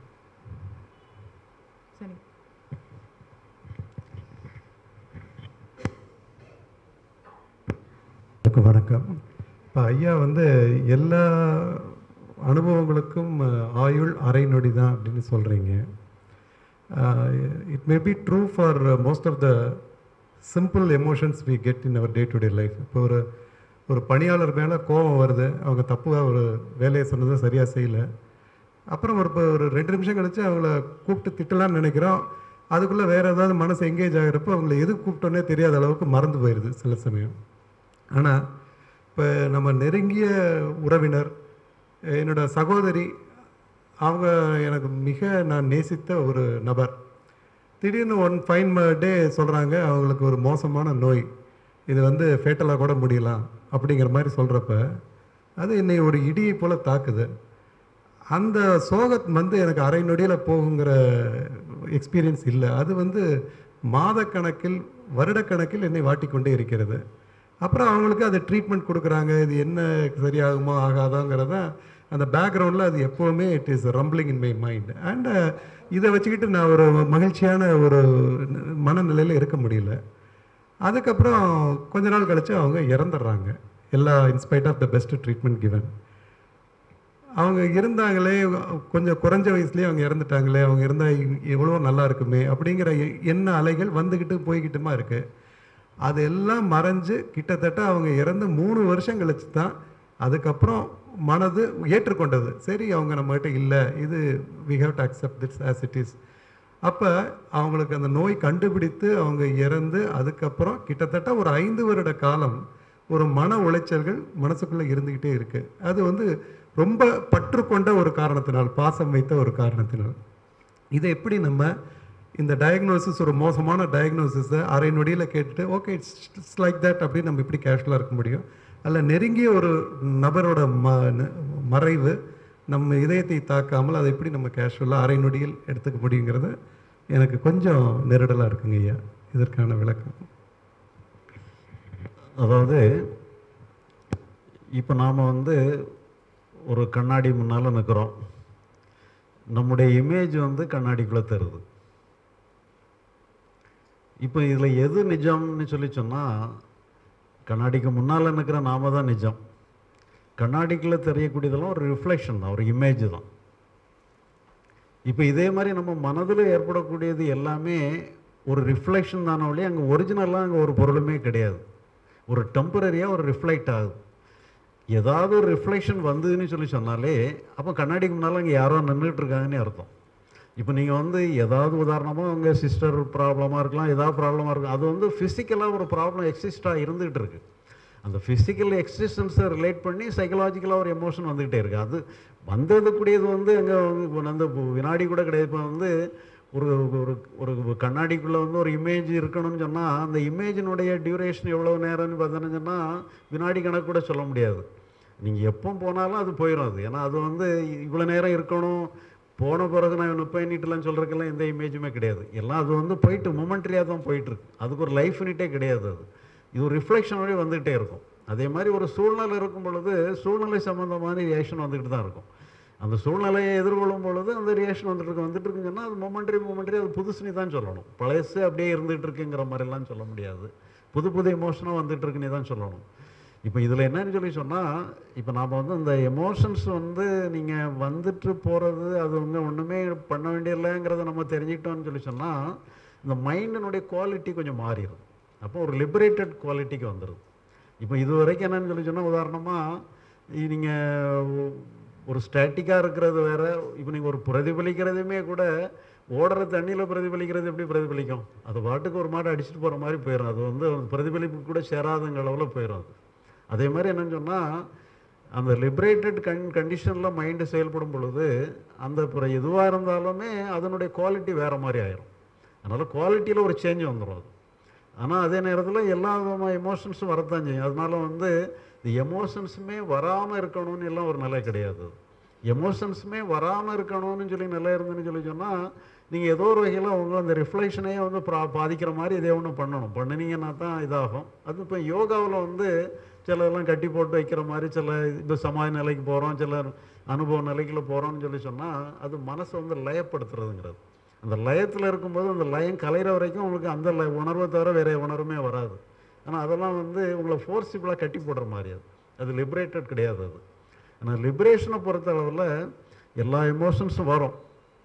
ஆனால் அதனுடைய குவாலிட்டி நமக்கு மாறும். அது அந்த லிபரேஷன் மைண்டு வரும் பொழுது எல்லா அனுபவங்களுமே என்னுடைய குவாலிட்டியில் ஒரு மாற்றத்தை உங்களால் பார்க்க முடியும். துக்கம் இருக்க தான் செய்யும். துக்கத்துக்கும் வித்தியாசம் இருக்க தான் செய்யும். அதுவும் நம்ம அந்த வித்தியாசத்தை நம்ம பார்க்க முடியும். இப்போ உதாரணமாக இப்போ இந்த டேபிள் இருக்குது இப்போ இதனுடைய வெயிட் வந்து ஒரு ஐம்பது கிலோன்னு சொல்லி சொன்னால் இந்த இதை வந்து நம்ம தள்ளி நகர்த்தணும்னு சொன்னால் ஐம்பது கிலோவுக்கு அதிகமாக வெயிட் கொடுத்தீங்கன்னா தான் இது நகரும். இப்போ அதே நேரத்தில் இந்த டேபிளுக்கு வந்து வீல் பொருத்திருக்குன்னு வச்சுடுங்க. நீங்கள் இந்த விரலை வச்சு தள்ளினா போதும். அது பாட்டுக்கு மூவாயிரம் இப்போ அதே நேரத்தில் நீங்கள் வந்து இந்த வீல் இல்லாத டேபிளை நான் நகர்த்தும் போது அந்த வெயிட் நல்லா தரையில் ஸ்க்ராச்சஸ் கூட ஏற்படுத்தும்.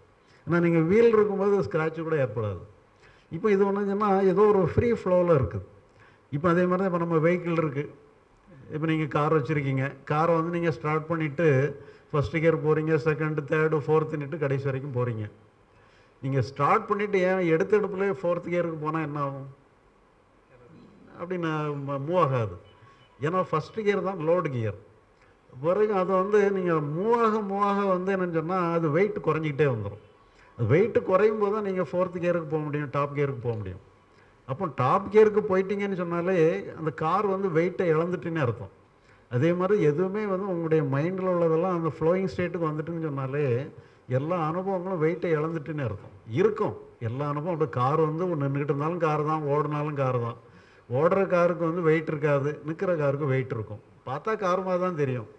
இன்னும் ஓடனா அது கார் இல்லைன்னு சொல்ல முடியாது. ஓடினாலும் கார் தான். அதே மாதிரி நம்முடைய எமோஷன்ஸ் எல்லாம் வந்து எல்லா விதமான எமோஷன்ஸும் வரத்தான் செய்யும். அந்த ஃப்ளோயிங் ஸ்டேட்டில் இருக்கிற எமோஷன் வேறு ஸ்டாட்டிக்காக இருக்கிற எமோஷன் வேறு. அதை நம்ம புரிஞ்சுக்கிட்டா போதும். இன்ப துன்பத்தை கடந்த நியூட்ரல் ஸ்டேட் தான் ஞானமா? இது இது வந்து நம்ம வந்து இது வந்து ஒரு எந்த ஸ்டேட்டுமே தேவையில்லைங்கிறத அண்டர்ஸ்டாண்ட் பண்ணுறது தான் ஏதாவது ஒரு ஸ்டே இப்போ நீங்கள் சொல்கிறது கூட நியூட்ரல் ஸ்டேட்டுங்கிறது கூட ஒரு ஸ்டேட் ஆயிடுது அந்த ஸ்டேட்டுங்கிறதெல்லாம் லிபரேஷன் பாயிண்ட் ஆஃப் வியூவில் அதாவது எந்த நிலைகள்ங்கிறதுமே வருது போகிறதுங்கிறது கூட ஒரு லிபரேஷன் பாயிண்ட் ஆஃப் வியூ அது. அந்த என்லைட்டன்மெண்ட் பாயிண்ட் ஆஃப் வியூவில் வந்து அண்டர்ஸ்டாண்டிங் தான். நமக்கு வேலை இல்லைங்கிறத புரிஞ்சுக்கிட்டதோட என்லைட்டன்மெண்ட் முடிஞ்சு போயிடுது அதுக்கு பிறகு லிபரேஷன் ஆரம்பிச்சிருது. லிபரேஷன் இந்த மாதிரி நிலைகள் இருக்கிறது ஓடுறது வைக்கிறது பிரவாகங்கிறதெல்லாம் லிபரேஷனோட சேர்ந்தது.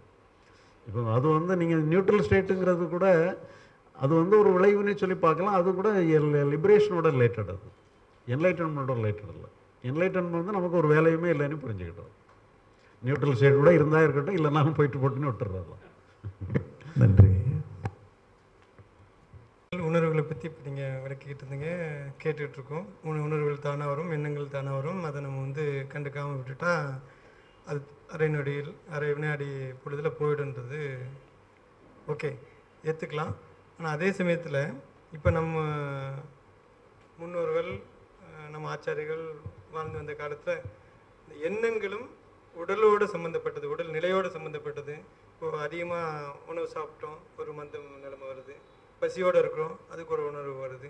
உடல் வலி இருக்குது நோய் இருக்குது எண்ணங்களும் உணர்வுகளும் அதை பற்றி தான் வந்துக்கிட்டு இருக்கு.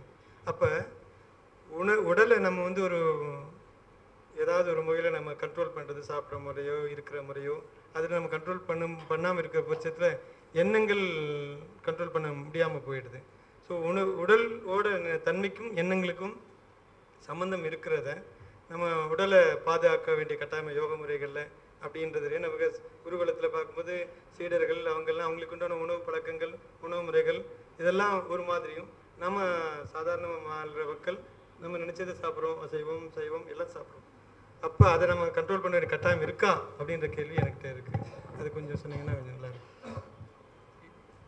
இல்லை இப்போ நம்ம வந்து உடல் இருக்கிறது அதுக்காக இது வந்து நம்ம வந்து நீங்கள் உடலை பார்க்க வேண்டியதில்லை நம்ம செய்கிற தொழிலை பார்க்க வேண்டியதில்லைங்கிறதுலாம் இல்லை. நீங்கள் எல்லாத்தையும் பண்ணுங்கள் அதில் ஒரு முறைமையை பண்ணிக்கிடுங்க. நல்ல உணவை சாப்பிடுங்க. நல்ல உடற்பயிற்சியெல்லாம் வச்சுக்கிடுங்க. அதுக்கும் சம்மந்தமே இல்லை. அதை நீங்கள் வச்சுக்கிட்டு தான் செய்யணும். ஆனால் நீங்கள் அதை ரிலேட் பண்ணி நம்ம வந்து சைக்கலாஜிக்கலாக அங்கே ஒரு ஸ்டேட்டை நீங்கள் மெயின்டைன் பண்ணணும்னு நினைக்க வேண்டாம் சைக்கலாஜிக்கலாக நம்மளை மெயின்டைன் பண்ணுறதுன்னு சொல்லி எந்த ஸ்டேட்டுமே நீங்கள் வச்சிடக்கூடாது இல்லை என்ன தகவல் எனக்கு தோணும் அப்படின்னா உங்களுக்கு எண்ணங்கள் வரும் அதை கண்டுக்காம விட்டீங்கன்னா நீ எப்படி வேணாலும் வாழலாம் அப்படின்ற ஒரு எண்ணத்தை உருவாக்கிடக்கூடாதோன்றது ஒரு எண்ணத்தில் இருக்கு. இப்போ நீங்கள் எப்படி வேணாலும் வாழ்ந்துங்க எண்ணங்கள் வரத்தான் செய்யும் கண்டுக்காதீங்க.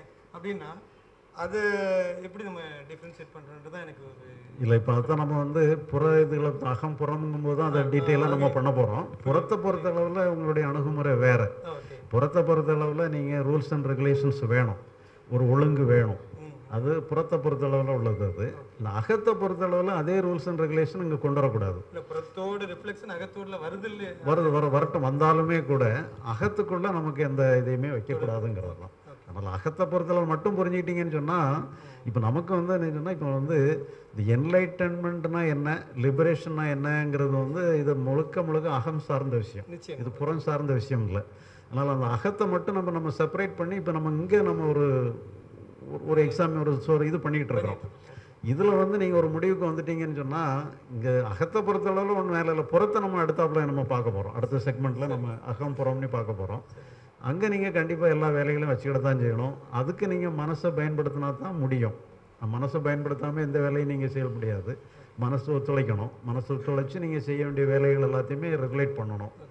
அது புறத்துக்கு கண்டிப்பாக வேணும். புறத்தில் நீங்கள் உடலை நீங்கள் ஆரோக்கியமாக வச்சுக்கிடுங்க. என்ன உணவு சாப்பிடலாம் என்ன உணவு சாப்பிடக்கூடாதுங்கிறது இருக்குது அதே மாதிரி என்ன மாதிரி உங்களுடைய அலுவல் வச்சுக்கணும் பாடி எப்படி மெயின்டைன் பண்ணணும் என்ன மாதிரி சூழ்நிலை இருக்கணும் என்ன தொழில் பண்ணணும் என்னங்கிறதெல்லாம் புறத்துக்கு சம்மந்தப்பட்டது. அது கண்டிப்பாக வேணும். ஐயா வணக்கம் ஐயா. ஐயா நம்மளுக்கு நல்ல தாட்ஸ் வரும்போது நம்மளுக்கு பிரச்சனை ஏற்படுறது கிடையாது. அதோடு நம்ம ஸ்ட்ரகிள் பண்ணுறது கிடையாது. நம்ம அதை ஓகே இது இருந்தால் இருந்து எவ்வளோ நேரம் இருந்தாலும் அதை வந்து நம்ம என்ஜாய் பண்ணுறோம் ஆனால் நம்மளுக்கு எப்போ கெட்ட தாட்ஸ் வருதோ அப்போ தான் நம்ம வந்துட்டு ரொம்ப ஸ்ட்ரகிள் பண்ணுறோம் அதை கரெக்ட் பண்ண ட்ரை பண்ணுறோம் எனக்கு என்ன ஆகுதுன்னா இப்போது இப் உங் உங்களோடது எல்லாம் கேட்டு அப்புறம் ரொம்ப ஃப்ரீயாக இருக்குது நான் அவ்வளோவா இன்டர்னல் ஸ்ட்ரகிள்ங்கிறது ரொம்ப கம்மியாயிடுச்சு. ஆனால் சம்டைம்ஸ் என்ன ஆகுதுன்னா நம்ம எதை ஒன்று ரொம்ப உயர்வாக நினைக்கிறோமோ அதையே இழிவுபடுத்துகிற மாதிரி for fraction of a second thought வருது. அப்போ உடனே உடம்பெல்லாம் ஒரு மாதிரி அதிர்ச்சி ஆகுது. அதாவது ஒரு உணர்வோட பிரதிபலிப்பு உடம்புல தெரியுது. அப்புறம் நெக்ஸ்ட் செகண்ட் ஜட்ஜ்மெண்ட்டுக்கு போயிடுது. ஜட்ஜ்மெண்ட் கழுவுக்கு போகக்கூடாதுன்னு நினைக்கிறேன். ஆனால் அதோட சீக்வன்ஸாக அந்த ஜட்ஜ்மெண்ட் வந்துடுது. நீ எப்படி நீ இப்படி நினைக்கலாம்? அப்படிங்கிற மாதிரி ஒன்று வருது. எப்படி நீ இப்படி நினைக்கலாம்? எப்படி நீ இப்படி பண்ணலாம்? அப்படின்னு ஒரு தாட் அளவில் ஆனால் அதை விட விட்டுடணும் அப்படின்னு நான் நினைக்கிறேன். ஆனால் சம்டைம்ஸ் அங்கே வந்து ஒரு சைக்கிளிக் லூப் மாதிரி ஒரு ஸ்ட்ரகிள் மாதிரி ஆயிடுது. அது இந்த மாதிரி தாட்ஸ் எல்லாம் ஏன் வருது? அது வந்து தாட்ஸை விட்டு டிஸ்கனெக்ட் ஆகுன்னு சொல்கிறதுக்காக இந்த மாதிரி வருதா? இல்லை ஆக்சுவலாக அந்த இடத்துல அந்த ஸ்ட்ரகிளை கண்ட்ரோல் பண்ணுறது இல்லை விட்டு வர்றது டிஃபிகல்ட்டாக இருக்குது அதாவது தாட்க்கும் திங்கிங்க்கும் அந்த கனெக்ஷன் ரொம்ப சின்னதாக இருக்கிறதுனால தாட்லேருந்து திங்கிங்க்கு போயிடுது. ஜட்ஜ் அதாவது தாட் ப்ராசஸ் ஐயோ இந்த மாதிரி நம்ம நினச்சிட்டோமே அப்படின்ட்டு அடுத்த செகண்ட் போயிடுது.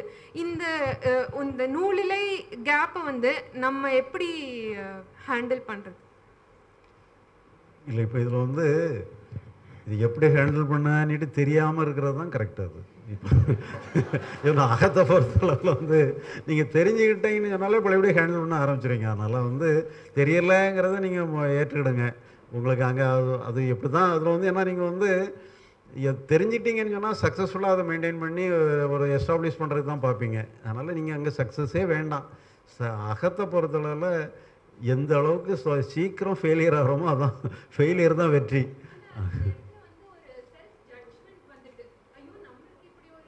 தாட் வருது அப்படின்ட்டு ஒரு செல்ஃப் ஜட்ஜ்மெண்ட் வந்து நம்மளை கிரிட்டிசைஸ் பண்ணுற மாதிரி வருது. ஆனால் செல்ஃப் ஜட்ஜ்மெண்ட் தேவையில்லைங்கிற உணர்வும் சேர்ந்து வருது. ஆனால் ரெண்டு தாட்டும் சேர்ந்து கொஞ்ச நேரம் போராட்டமாகவே இருக்குது கொஞ்ச நேரம் சம்டைம்ஸ் கொஞ்ச நாள் அந்த மாதிரி கூட. அதாவது போராட்டம் இருக்கிறது இல்லை போராட்டம் வருது. திருப்பி போராட்டம் இருக்கிறது இல்லை இந்த மாதிரி ஒரு இதுலேயே இருக்குது ஆனால் நம்ம ப்ராப்ளி நம்ம வந்து போராட்டம் இல்லாத நிலமையில இருக்கணும்னு நினைக்கிறதுனால அது லைஃப் எக்ஸ்டெண்ட் ஆகுதா என்னன்னு கரெக்டாக தெரியல. இல்லை நீங்கள் வந்து சைக்கலாஜிக்கலாக வந்து கரெக்ட் ஸ்டேட்டுன்னு சொல்லி ஒரு ஸ்டேட்டையே நீங்கள் கற்பனையே பண்ணாதுங்க. கரெக்ட் ஸ்டேட்டுன்னு சொல்லி ஒரு ஸ்டேட்டை கற்பனை பண்ணீங்கன்னு சொன்னாலே அந்த ஸ்டேட்டுக்கான முயற்சி உங்களை அறியாமலே வந்துடும் அதனால் கரெக்ட் ஸ்டேட்டுன்ட்டே ஒரு ஸ்டேட்டை நீங்கள் எஸ்டாப்ளிஷ் பண்ண வேண்டாம். அப்ப அந்த மாதிரி தாட்ஸ் வர்ற டைம்ல நம்ம என்ன பண்ணணும்? சும்மா அதை அப்சர்வ் பண்ணிட்டு அப்படியே விட்டு நீங்கள் அப்சர்வ் பண்ணினீங்கன்னாலுமே நோக்கம் வந்து அதை சரி பண்ணணுங்கிற நோக்கம் தான் வந்துடும் அது அதாவது என்னன்னா அது ஒரு நேச்சுரல்னு எடுத்துக்கணும். சைக்கலாஜிக்கலாக வரக்கூடியதெல்லாம் நேச்சுரல்னு எடுத்துக்கணும். இதில் வந்து அதை நேச்சுரலுக்கு நம்ம என்ன இது பண்ண முடியும்? நீங்கள் நேச்சுரலில் வந்து நீங்கள் வந்து மழை பெய்யுது அது நேச்சுரல்னு நீங்கள் அப்சர்வ் பண்ணுறதுனால ஏதாவது மாறுதுன்னா மாறாது அது. அதனால் நேச்சுரலுங்கும்போது உங்களுடைய ரோல் உங்களுக்கு இல்லை. உங்களுடைய ரோலை நீங்கள் இழந்துடணும் அவ்வளோதான் சைக்கலாஜிக்கலாக நேச்சுரல்னு எடுத்துக்கணும் அதில் நீங்கள் குற்றம் கண்டுபிடிக்க வேண்டிய அவசியம் இல்லை. நீங்கள் என்ன எப்படி இருந்தாலும் ஓகே தான்ட்டு கொடுத்துருவோம் ஆனா இந்த தாட்ஸ் எல்லாம் எங்க இருந்து வருது ஐயா? இப்போ இப்போ நம்மளோட தன்மைக்கு ஏத்த மாதிரி வருது அப்படின்னா அந்த இடத்துல நம்மளுக்கு என்ன நம்மளோட தன்மையை வந்து குறை கண்டுபிடிக்கிற மாதிரி இல்ல அதை சரி பண்ற மாதிரி நம்மளோட தன்மைக்கும் நம்மளோட எண்ணங்களுக்கும் எப்படி கனெக்ஷன் இருக்கு? இப்போ நமக்கு வந்து கனவுகள் வருது. அதில் ஏதாவது ஒரு ஒழுங்கு இருக்கா அந்த கனவுல? நீங்கள் உங்கள் வீட்டில் இருக்கிற மாதிரி இருக்கீங்க திடீர்னு இன்னொரு வீட்டில் இருக்கிற மாதிரி இருப்பீங்க. அது வந்து சம்மந்தா சம்மந்தமானலாம் வரும் அது அதனால் அதே மாதிரி தான் இது வந்து தாட்டும் கனவுக்கும் வித்தியாசமே கிடையாது. இது உரையான தாட்டு. இது பகலில் ஏற்படக்கூடிய கனவு. அது வந்து நை தூங்கும்போது ஏற்படக்கூடிய தாட்டு. ரெண்டுக்கும் ஒன்று தான் அதனால் இது வந்து அப்படி தான் இருக்கும் அதனுடைய அதுக்கு ஒரு ரூல்ஸ் அண்ட் ரெகுலேஷன்ஸே இருக்காது.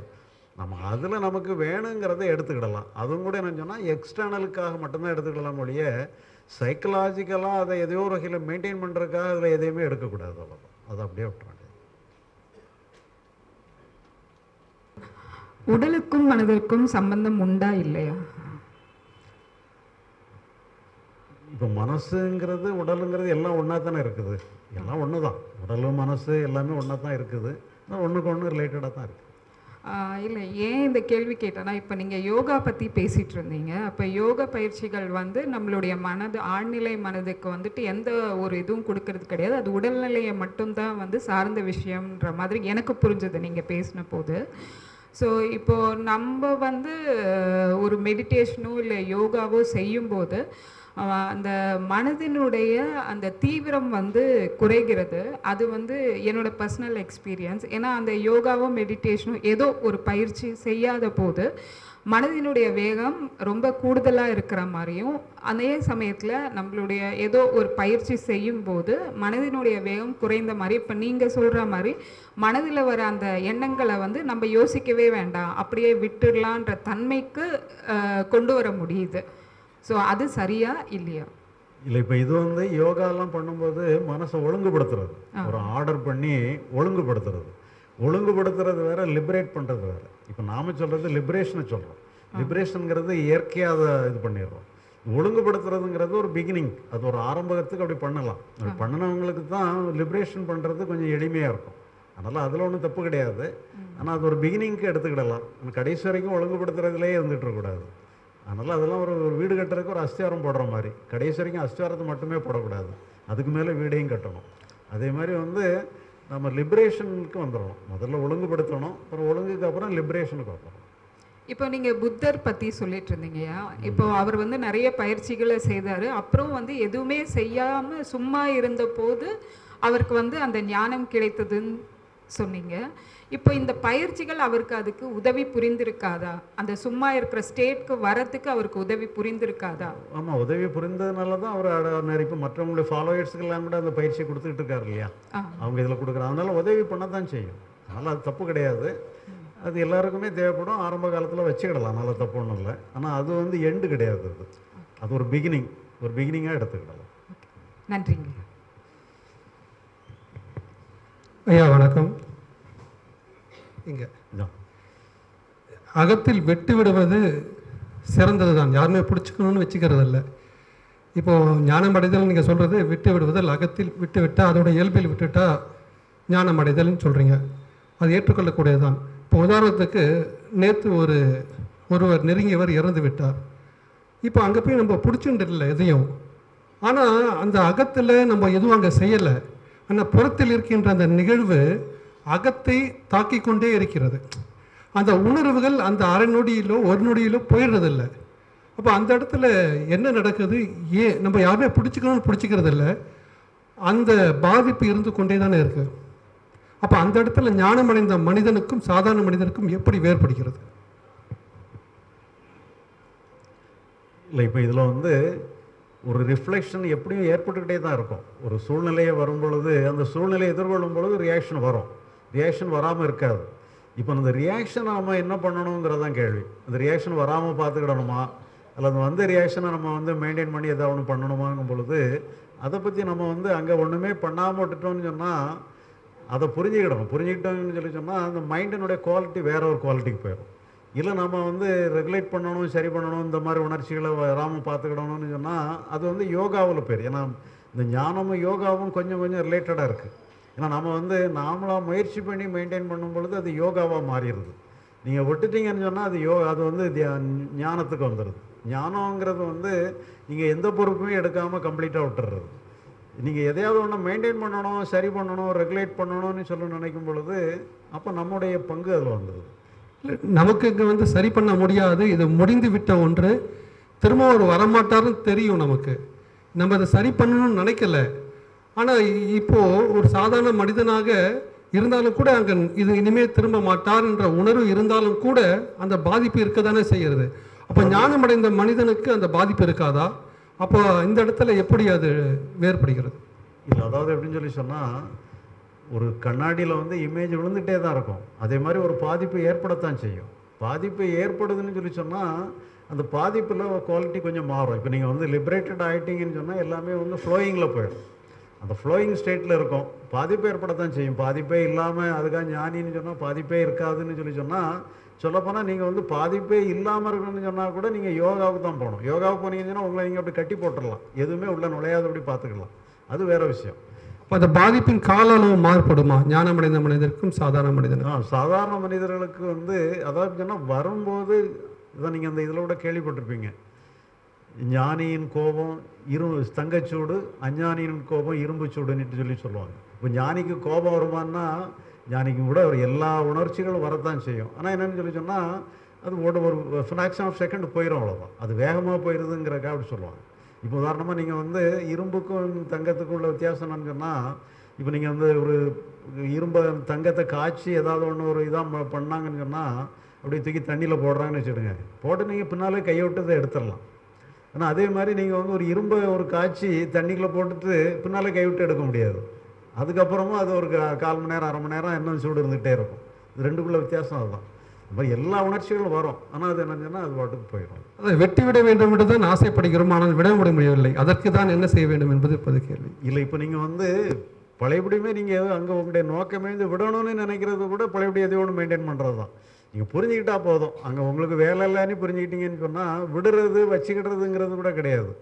விடுற வேலை கூட உங்களுக்கு கிடையாது. விடுறது நிகழும் அது. ஆனால் விடுறது வந்து நீங்கள் விடுறது இல்லை அது. உங்களுக்கு வேலை இல்லைன்னு சொன்னால் அது அதுவாக நிகழும் அது. அதனால் அது அதுவாக போயிடும். நன்றிங்க.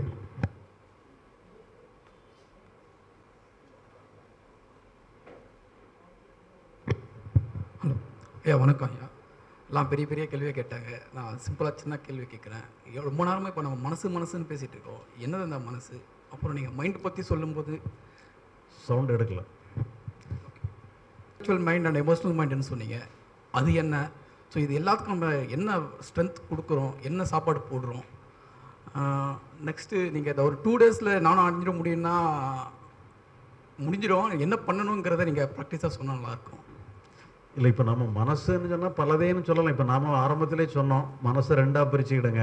ஒன்று இன்டலெக்ட் இன்னொன்று எமோஷன் இரண்டாக பிரிச்சு இன்டலெக்ட்டுங்கிறது நம்ம அறிவுபூர்வமாக டீல் பண்ணுறது பகுதி இன்டலெக்ட்டுங்கிறது எமோஷனுங்கிறது என்ன உணர்ச்சிகள் வருது. பயம் வருது கோபம் வருது வருத்தம் வருது எத்தனையோ விதமான எமோஷன்ஸ் வருது. இப்படி ரெண்டு பகுதியாக அது செயல்படுது. அது செயல்படுறத வச்சு நம்ம அதை பிரிச்சுக்கிடுறோம். இப்படி ரெண்டுமே பிரிச்சுக்கிட்டால் போதும். இதில் நீங்கள் சப்கான்ஷியஸ் கான்ஷியஸ் டீப்பர் கான்ஷியஸுங்கிறதெல்லாம் அது வேறு கிளாசிஃபிகேஷன் அது. இப்போ நாம் பிரிஞ்சுக்கிட்டது வந்து நீங்கள் இன்டலெக்ட்னா என்ன எமோஷன்னா என்னங்கிற மட்டும் அந்த கிளாசிஃபிகேஷனில் பிரிஞ்சுக்கிட்டீங்கன்னு சொன்னால் நம்ம விளங்க வேண்டியதுக்கு இது போதும் அது. வேறு கிளாசிஃபிகேஷன் போனீங்கன்னா இது டிஸ்டர்ப் ஆயிரும் அது. சரி நான் அதை கேட்க வரல. இப்போ மைண்டு மனசு ரெண்டும் ஒன்று தான் சொல்ல வரீங்க. அதான் மைண்டுனாலும் மனசு மனசுங்கிறது தமிழ் அல்லது சான்ஸ்கிரிட்டு. ஓகே. மைண்டுங்கிறது இங்கிலீஷ் அவ்வளோதான் ஸோ இதுக்கெல்லாம் இதுக்கெல்லாம் ஸ்ட்ரென்த் எங்கிருந்து வருது சார் எதை வச்சு நம்ம இதை ஃபீட் பண்ணுறோம் இதுக்கெல்லாம் ஸ்ட்ரென்த் ஃபார் எக்ஸாம்பிள் ஃபீலிங்ஸ் வருதுன்னு வச்சுக்கோங்களேன். அது அதிகமாக போகிறதுக்கு நம்ம என்ன பண்ணுறோம் அதிகமாக இல்லை அதிகமாக ஆகுது இல்லைங்களா சார் அப்போ கோவம் இருக்குது இன்னைக்கு இன்னைக்கு ஒரு லெவலில் இருக்குது நாளைக்கு இன்னும் கொஞ்சம் ஏறிட்டு இருக்கு இன்னும் கொஞ்சம் ஏறிட்டு இருக்கு. என் இது வந்து அந்த கோவத்தை என்ன இன்க்ரீஸ் பண்ணி விடுது அப்படின்னு கேட்குறேன் நான். இல்லை அது வந்து ஒரு சூழ்நிலைக்கு தகுந்த மாதிரி. ஒரு நாளைக்கு நாள் கூடுற மாதிரிலாம் அப்படியே கிடையாது. அந்த சூழ்நிலையை எதிர்கொள்கிறதுக்கு ஒரு ரியாக்ஷன் மாதிரி வருது. இப்போ நீங்கள் என்ன இதை தூக்கு என்னது இப்போ எதோட ரிலேட் பண்ணுறீங்களோ அந்த ரிலேஷன்ஷிப்புக்கு தகுந்த மாதிரி உங்கள்கிட்ட இருந்து ஒரு ஆக்ஷன் வரும். ஒரு ரியாக்ஷன் மாதிரி வர்றது தான். சும்மா அது இது வந்து ரியாக்ஷன் வந்து அது பாட்டுக்கு அப்படியே கூட்டிகிட்டே போகிறது இல்லை அது. வெளியே எந்த அளவுக்கு உங்களுக்கு தேவையோ அந்த அளவுக்கு உங்கள்கிட்ட இருந்து ரியாக்ஷன் வரும். தேவையில்லாத அளவுக்கு வராது. அது சூழ்நிலை தான். உங்கள் சூழ்நிலை நீ எதிர்கொள்ளக்கூடிய ஃபேஸ் பண்ணக்கூடிய சுச்சுவேஷன் இது எல்லாத்தையும் இது பண்ணி அதை எப்படி டீல் பண்ணால் சரியாக இருக்குமோ அதுக்கு தகுந்த மாதிரி வரும். இப்போ உதாரணமாக இதில் ஒரு பாக்ஸ் இருக்குது ஐம்பது கிலோ பாக்ஸில் வெயிட்டு இப்போ அதை நீங்கள் தூக்கணும். தூக்கணும்னா உங்கள் கையிலலாம் எனர்ஜிலாம் இருக்காது. நீங்கள் தூக்கணுனீங்கன்னா ஐம்பது கிலோ தூக்கக்கூடிய வெயிட் வரும். கையில் எனர்ஜி கையில் வந்துடும் சப்போஸ் இது வந்து அறுபது கிலோ எழுபது கிலோ இருந்துச்சுன்னா அது தூக்க மாதிரி எனர்ஜி வரும். எந்த அளவுக்கு வெயிட் இருக்கோ அதுக்கு தகுந்த மாதிரி எனர்ஜி கையில் வரும். சப்போஸ் உங்களுக்கு வந்து இது வந்து ஒரு அஞ்சு கிலோ வெயிட்டு தான் இருக்குது அஞ்சு கிலோ வெயிட்டை தூக்குறதுக்கு இங்கே ஐம்பது கிலோ வெயிட் எல்லாம் எனர்ஜியெல்லாம் வராது. நீங்கள் எந்த அளவுக்கு தேவையோ அதுக்கு தகுந்த எனர்ஜி வரும். அதே மாதிரி என்னன்னு சொன்னால் என்ன மாதிரி சுச்சுவேஷனோ அதுக்கு தகுந்த மாதிரி ஒரு எமோஷன் வரும். இப்போ உதாரணமாக ஒரு வருத்தப்படைய வருத்தப்படக்கூடிய சுச்சுவேஷனில் வருத்தங்கள் ஏற்படும். ஒரு பயப்படக்கூடிய சுச்சுவேஷனில் பயம் ஏற்படும். ஒரு கோவப்படக்கூடிய சுச்சுவேஷனில் கோபம் வரும். அது எந்த அளவுக்கு தேவையோ அந்த அளவுக்கு வரும். லாஸ்ட் கொஸ்டின் ஐயா. இப்போது இந்த அப்படியே விட்டுடுங்க விட்டுடுங்கன்னு சொல்லி சொல்கிறீங்க இல்லைங்களா? ஸோ நாங்கள் தேர்ட்டி இயர்ஸ் அதை கண்ட்ரோல் பண்ண என்னவோ பண்ண பண்ணிகிட்டு இருந்தோம். இப்போ நீங்கள் சடனாக இப்போ வந்து விட்டுடுங்க அது போயிடும் அப்படிங்கிறீங்க. ஸோ அது நாங்கள் எதை இதை மாதிரி பண்ணணும் அதுன்னு கேட்குறேன் நான். இல்லை இது நீங்கள் புரிஞ்சுக்கிடுறது தான் நீங்கள் புரிய நீங்கள் வந்து ஒரு டிஃப்ரெண்ட் கான்செப்டாக இருந்துச்சுன்னா நீங்கள் அதை என்னன்னுட்டு புரிஞ்சுக்கிடுங்க. நீங்கள் இன்னும் கொஞ்சம் ஒர்க் அவுட் பண்ணுங்கள் நம்ம நூல்கள் கூட இருக்குது நீங்கள் வாங்கி கூட ஒர்க் அவுட் பண்ணுங்கள் ஏன்னா நீங்கள் இதை வந்து நீங்கள் விடுறது வேலை கூட உங்களுக்கு கிடையாது. நீங்கள் இப்போ உங்களுக்கு வேலையே இல்லைன்னு புரிஞ்சுக்கிட்டு மட்டும் போதும் விடுற வேலைன்னு சொன்னால் அப்படியே அது இன்னொரு வேலையாக மாறிடும் அது. Okay thank you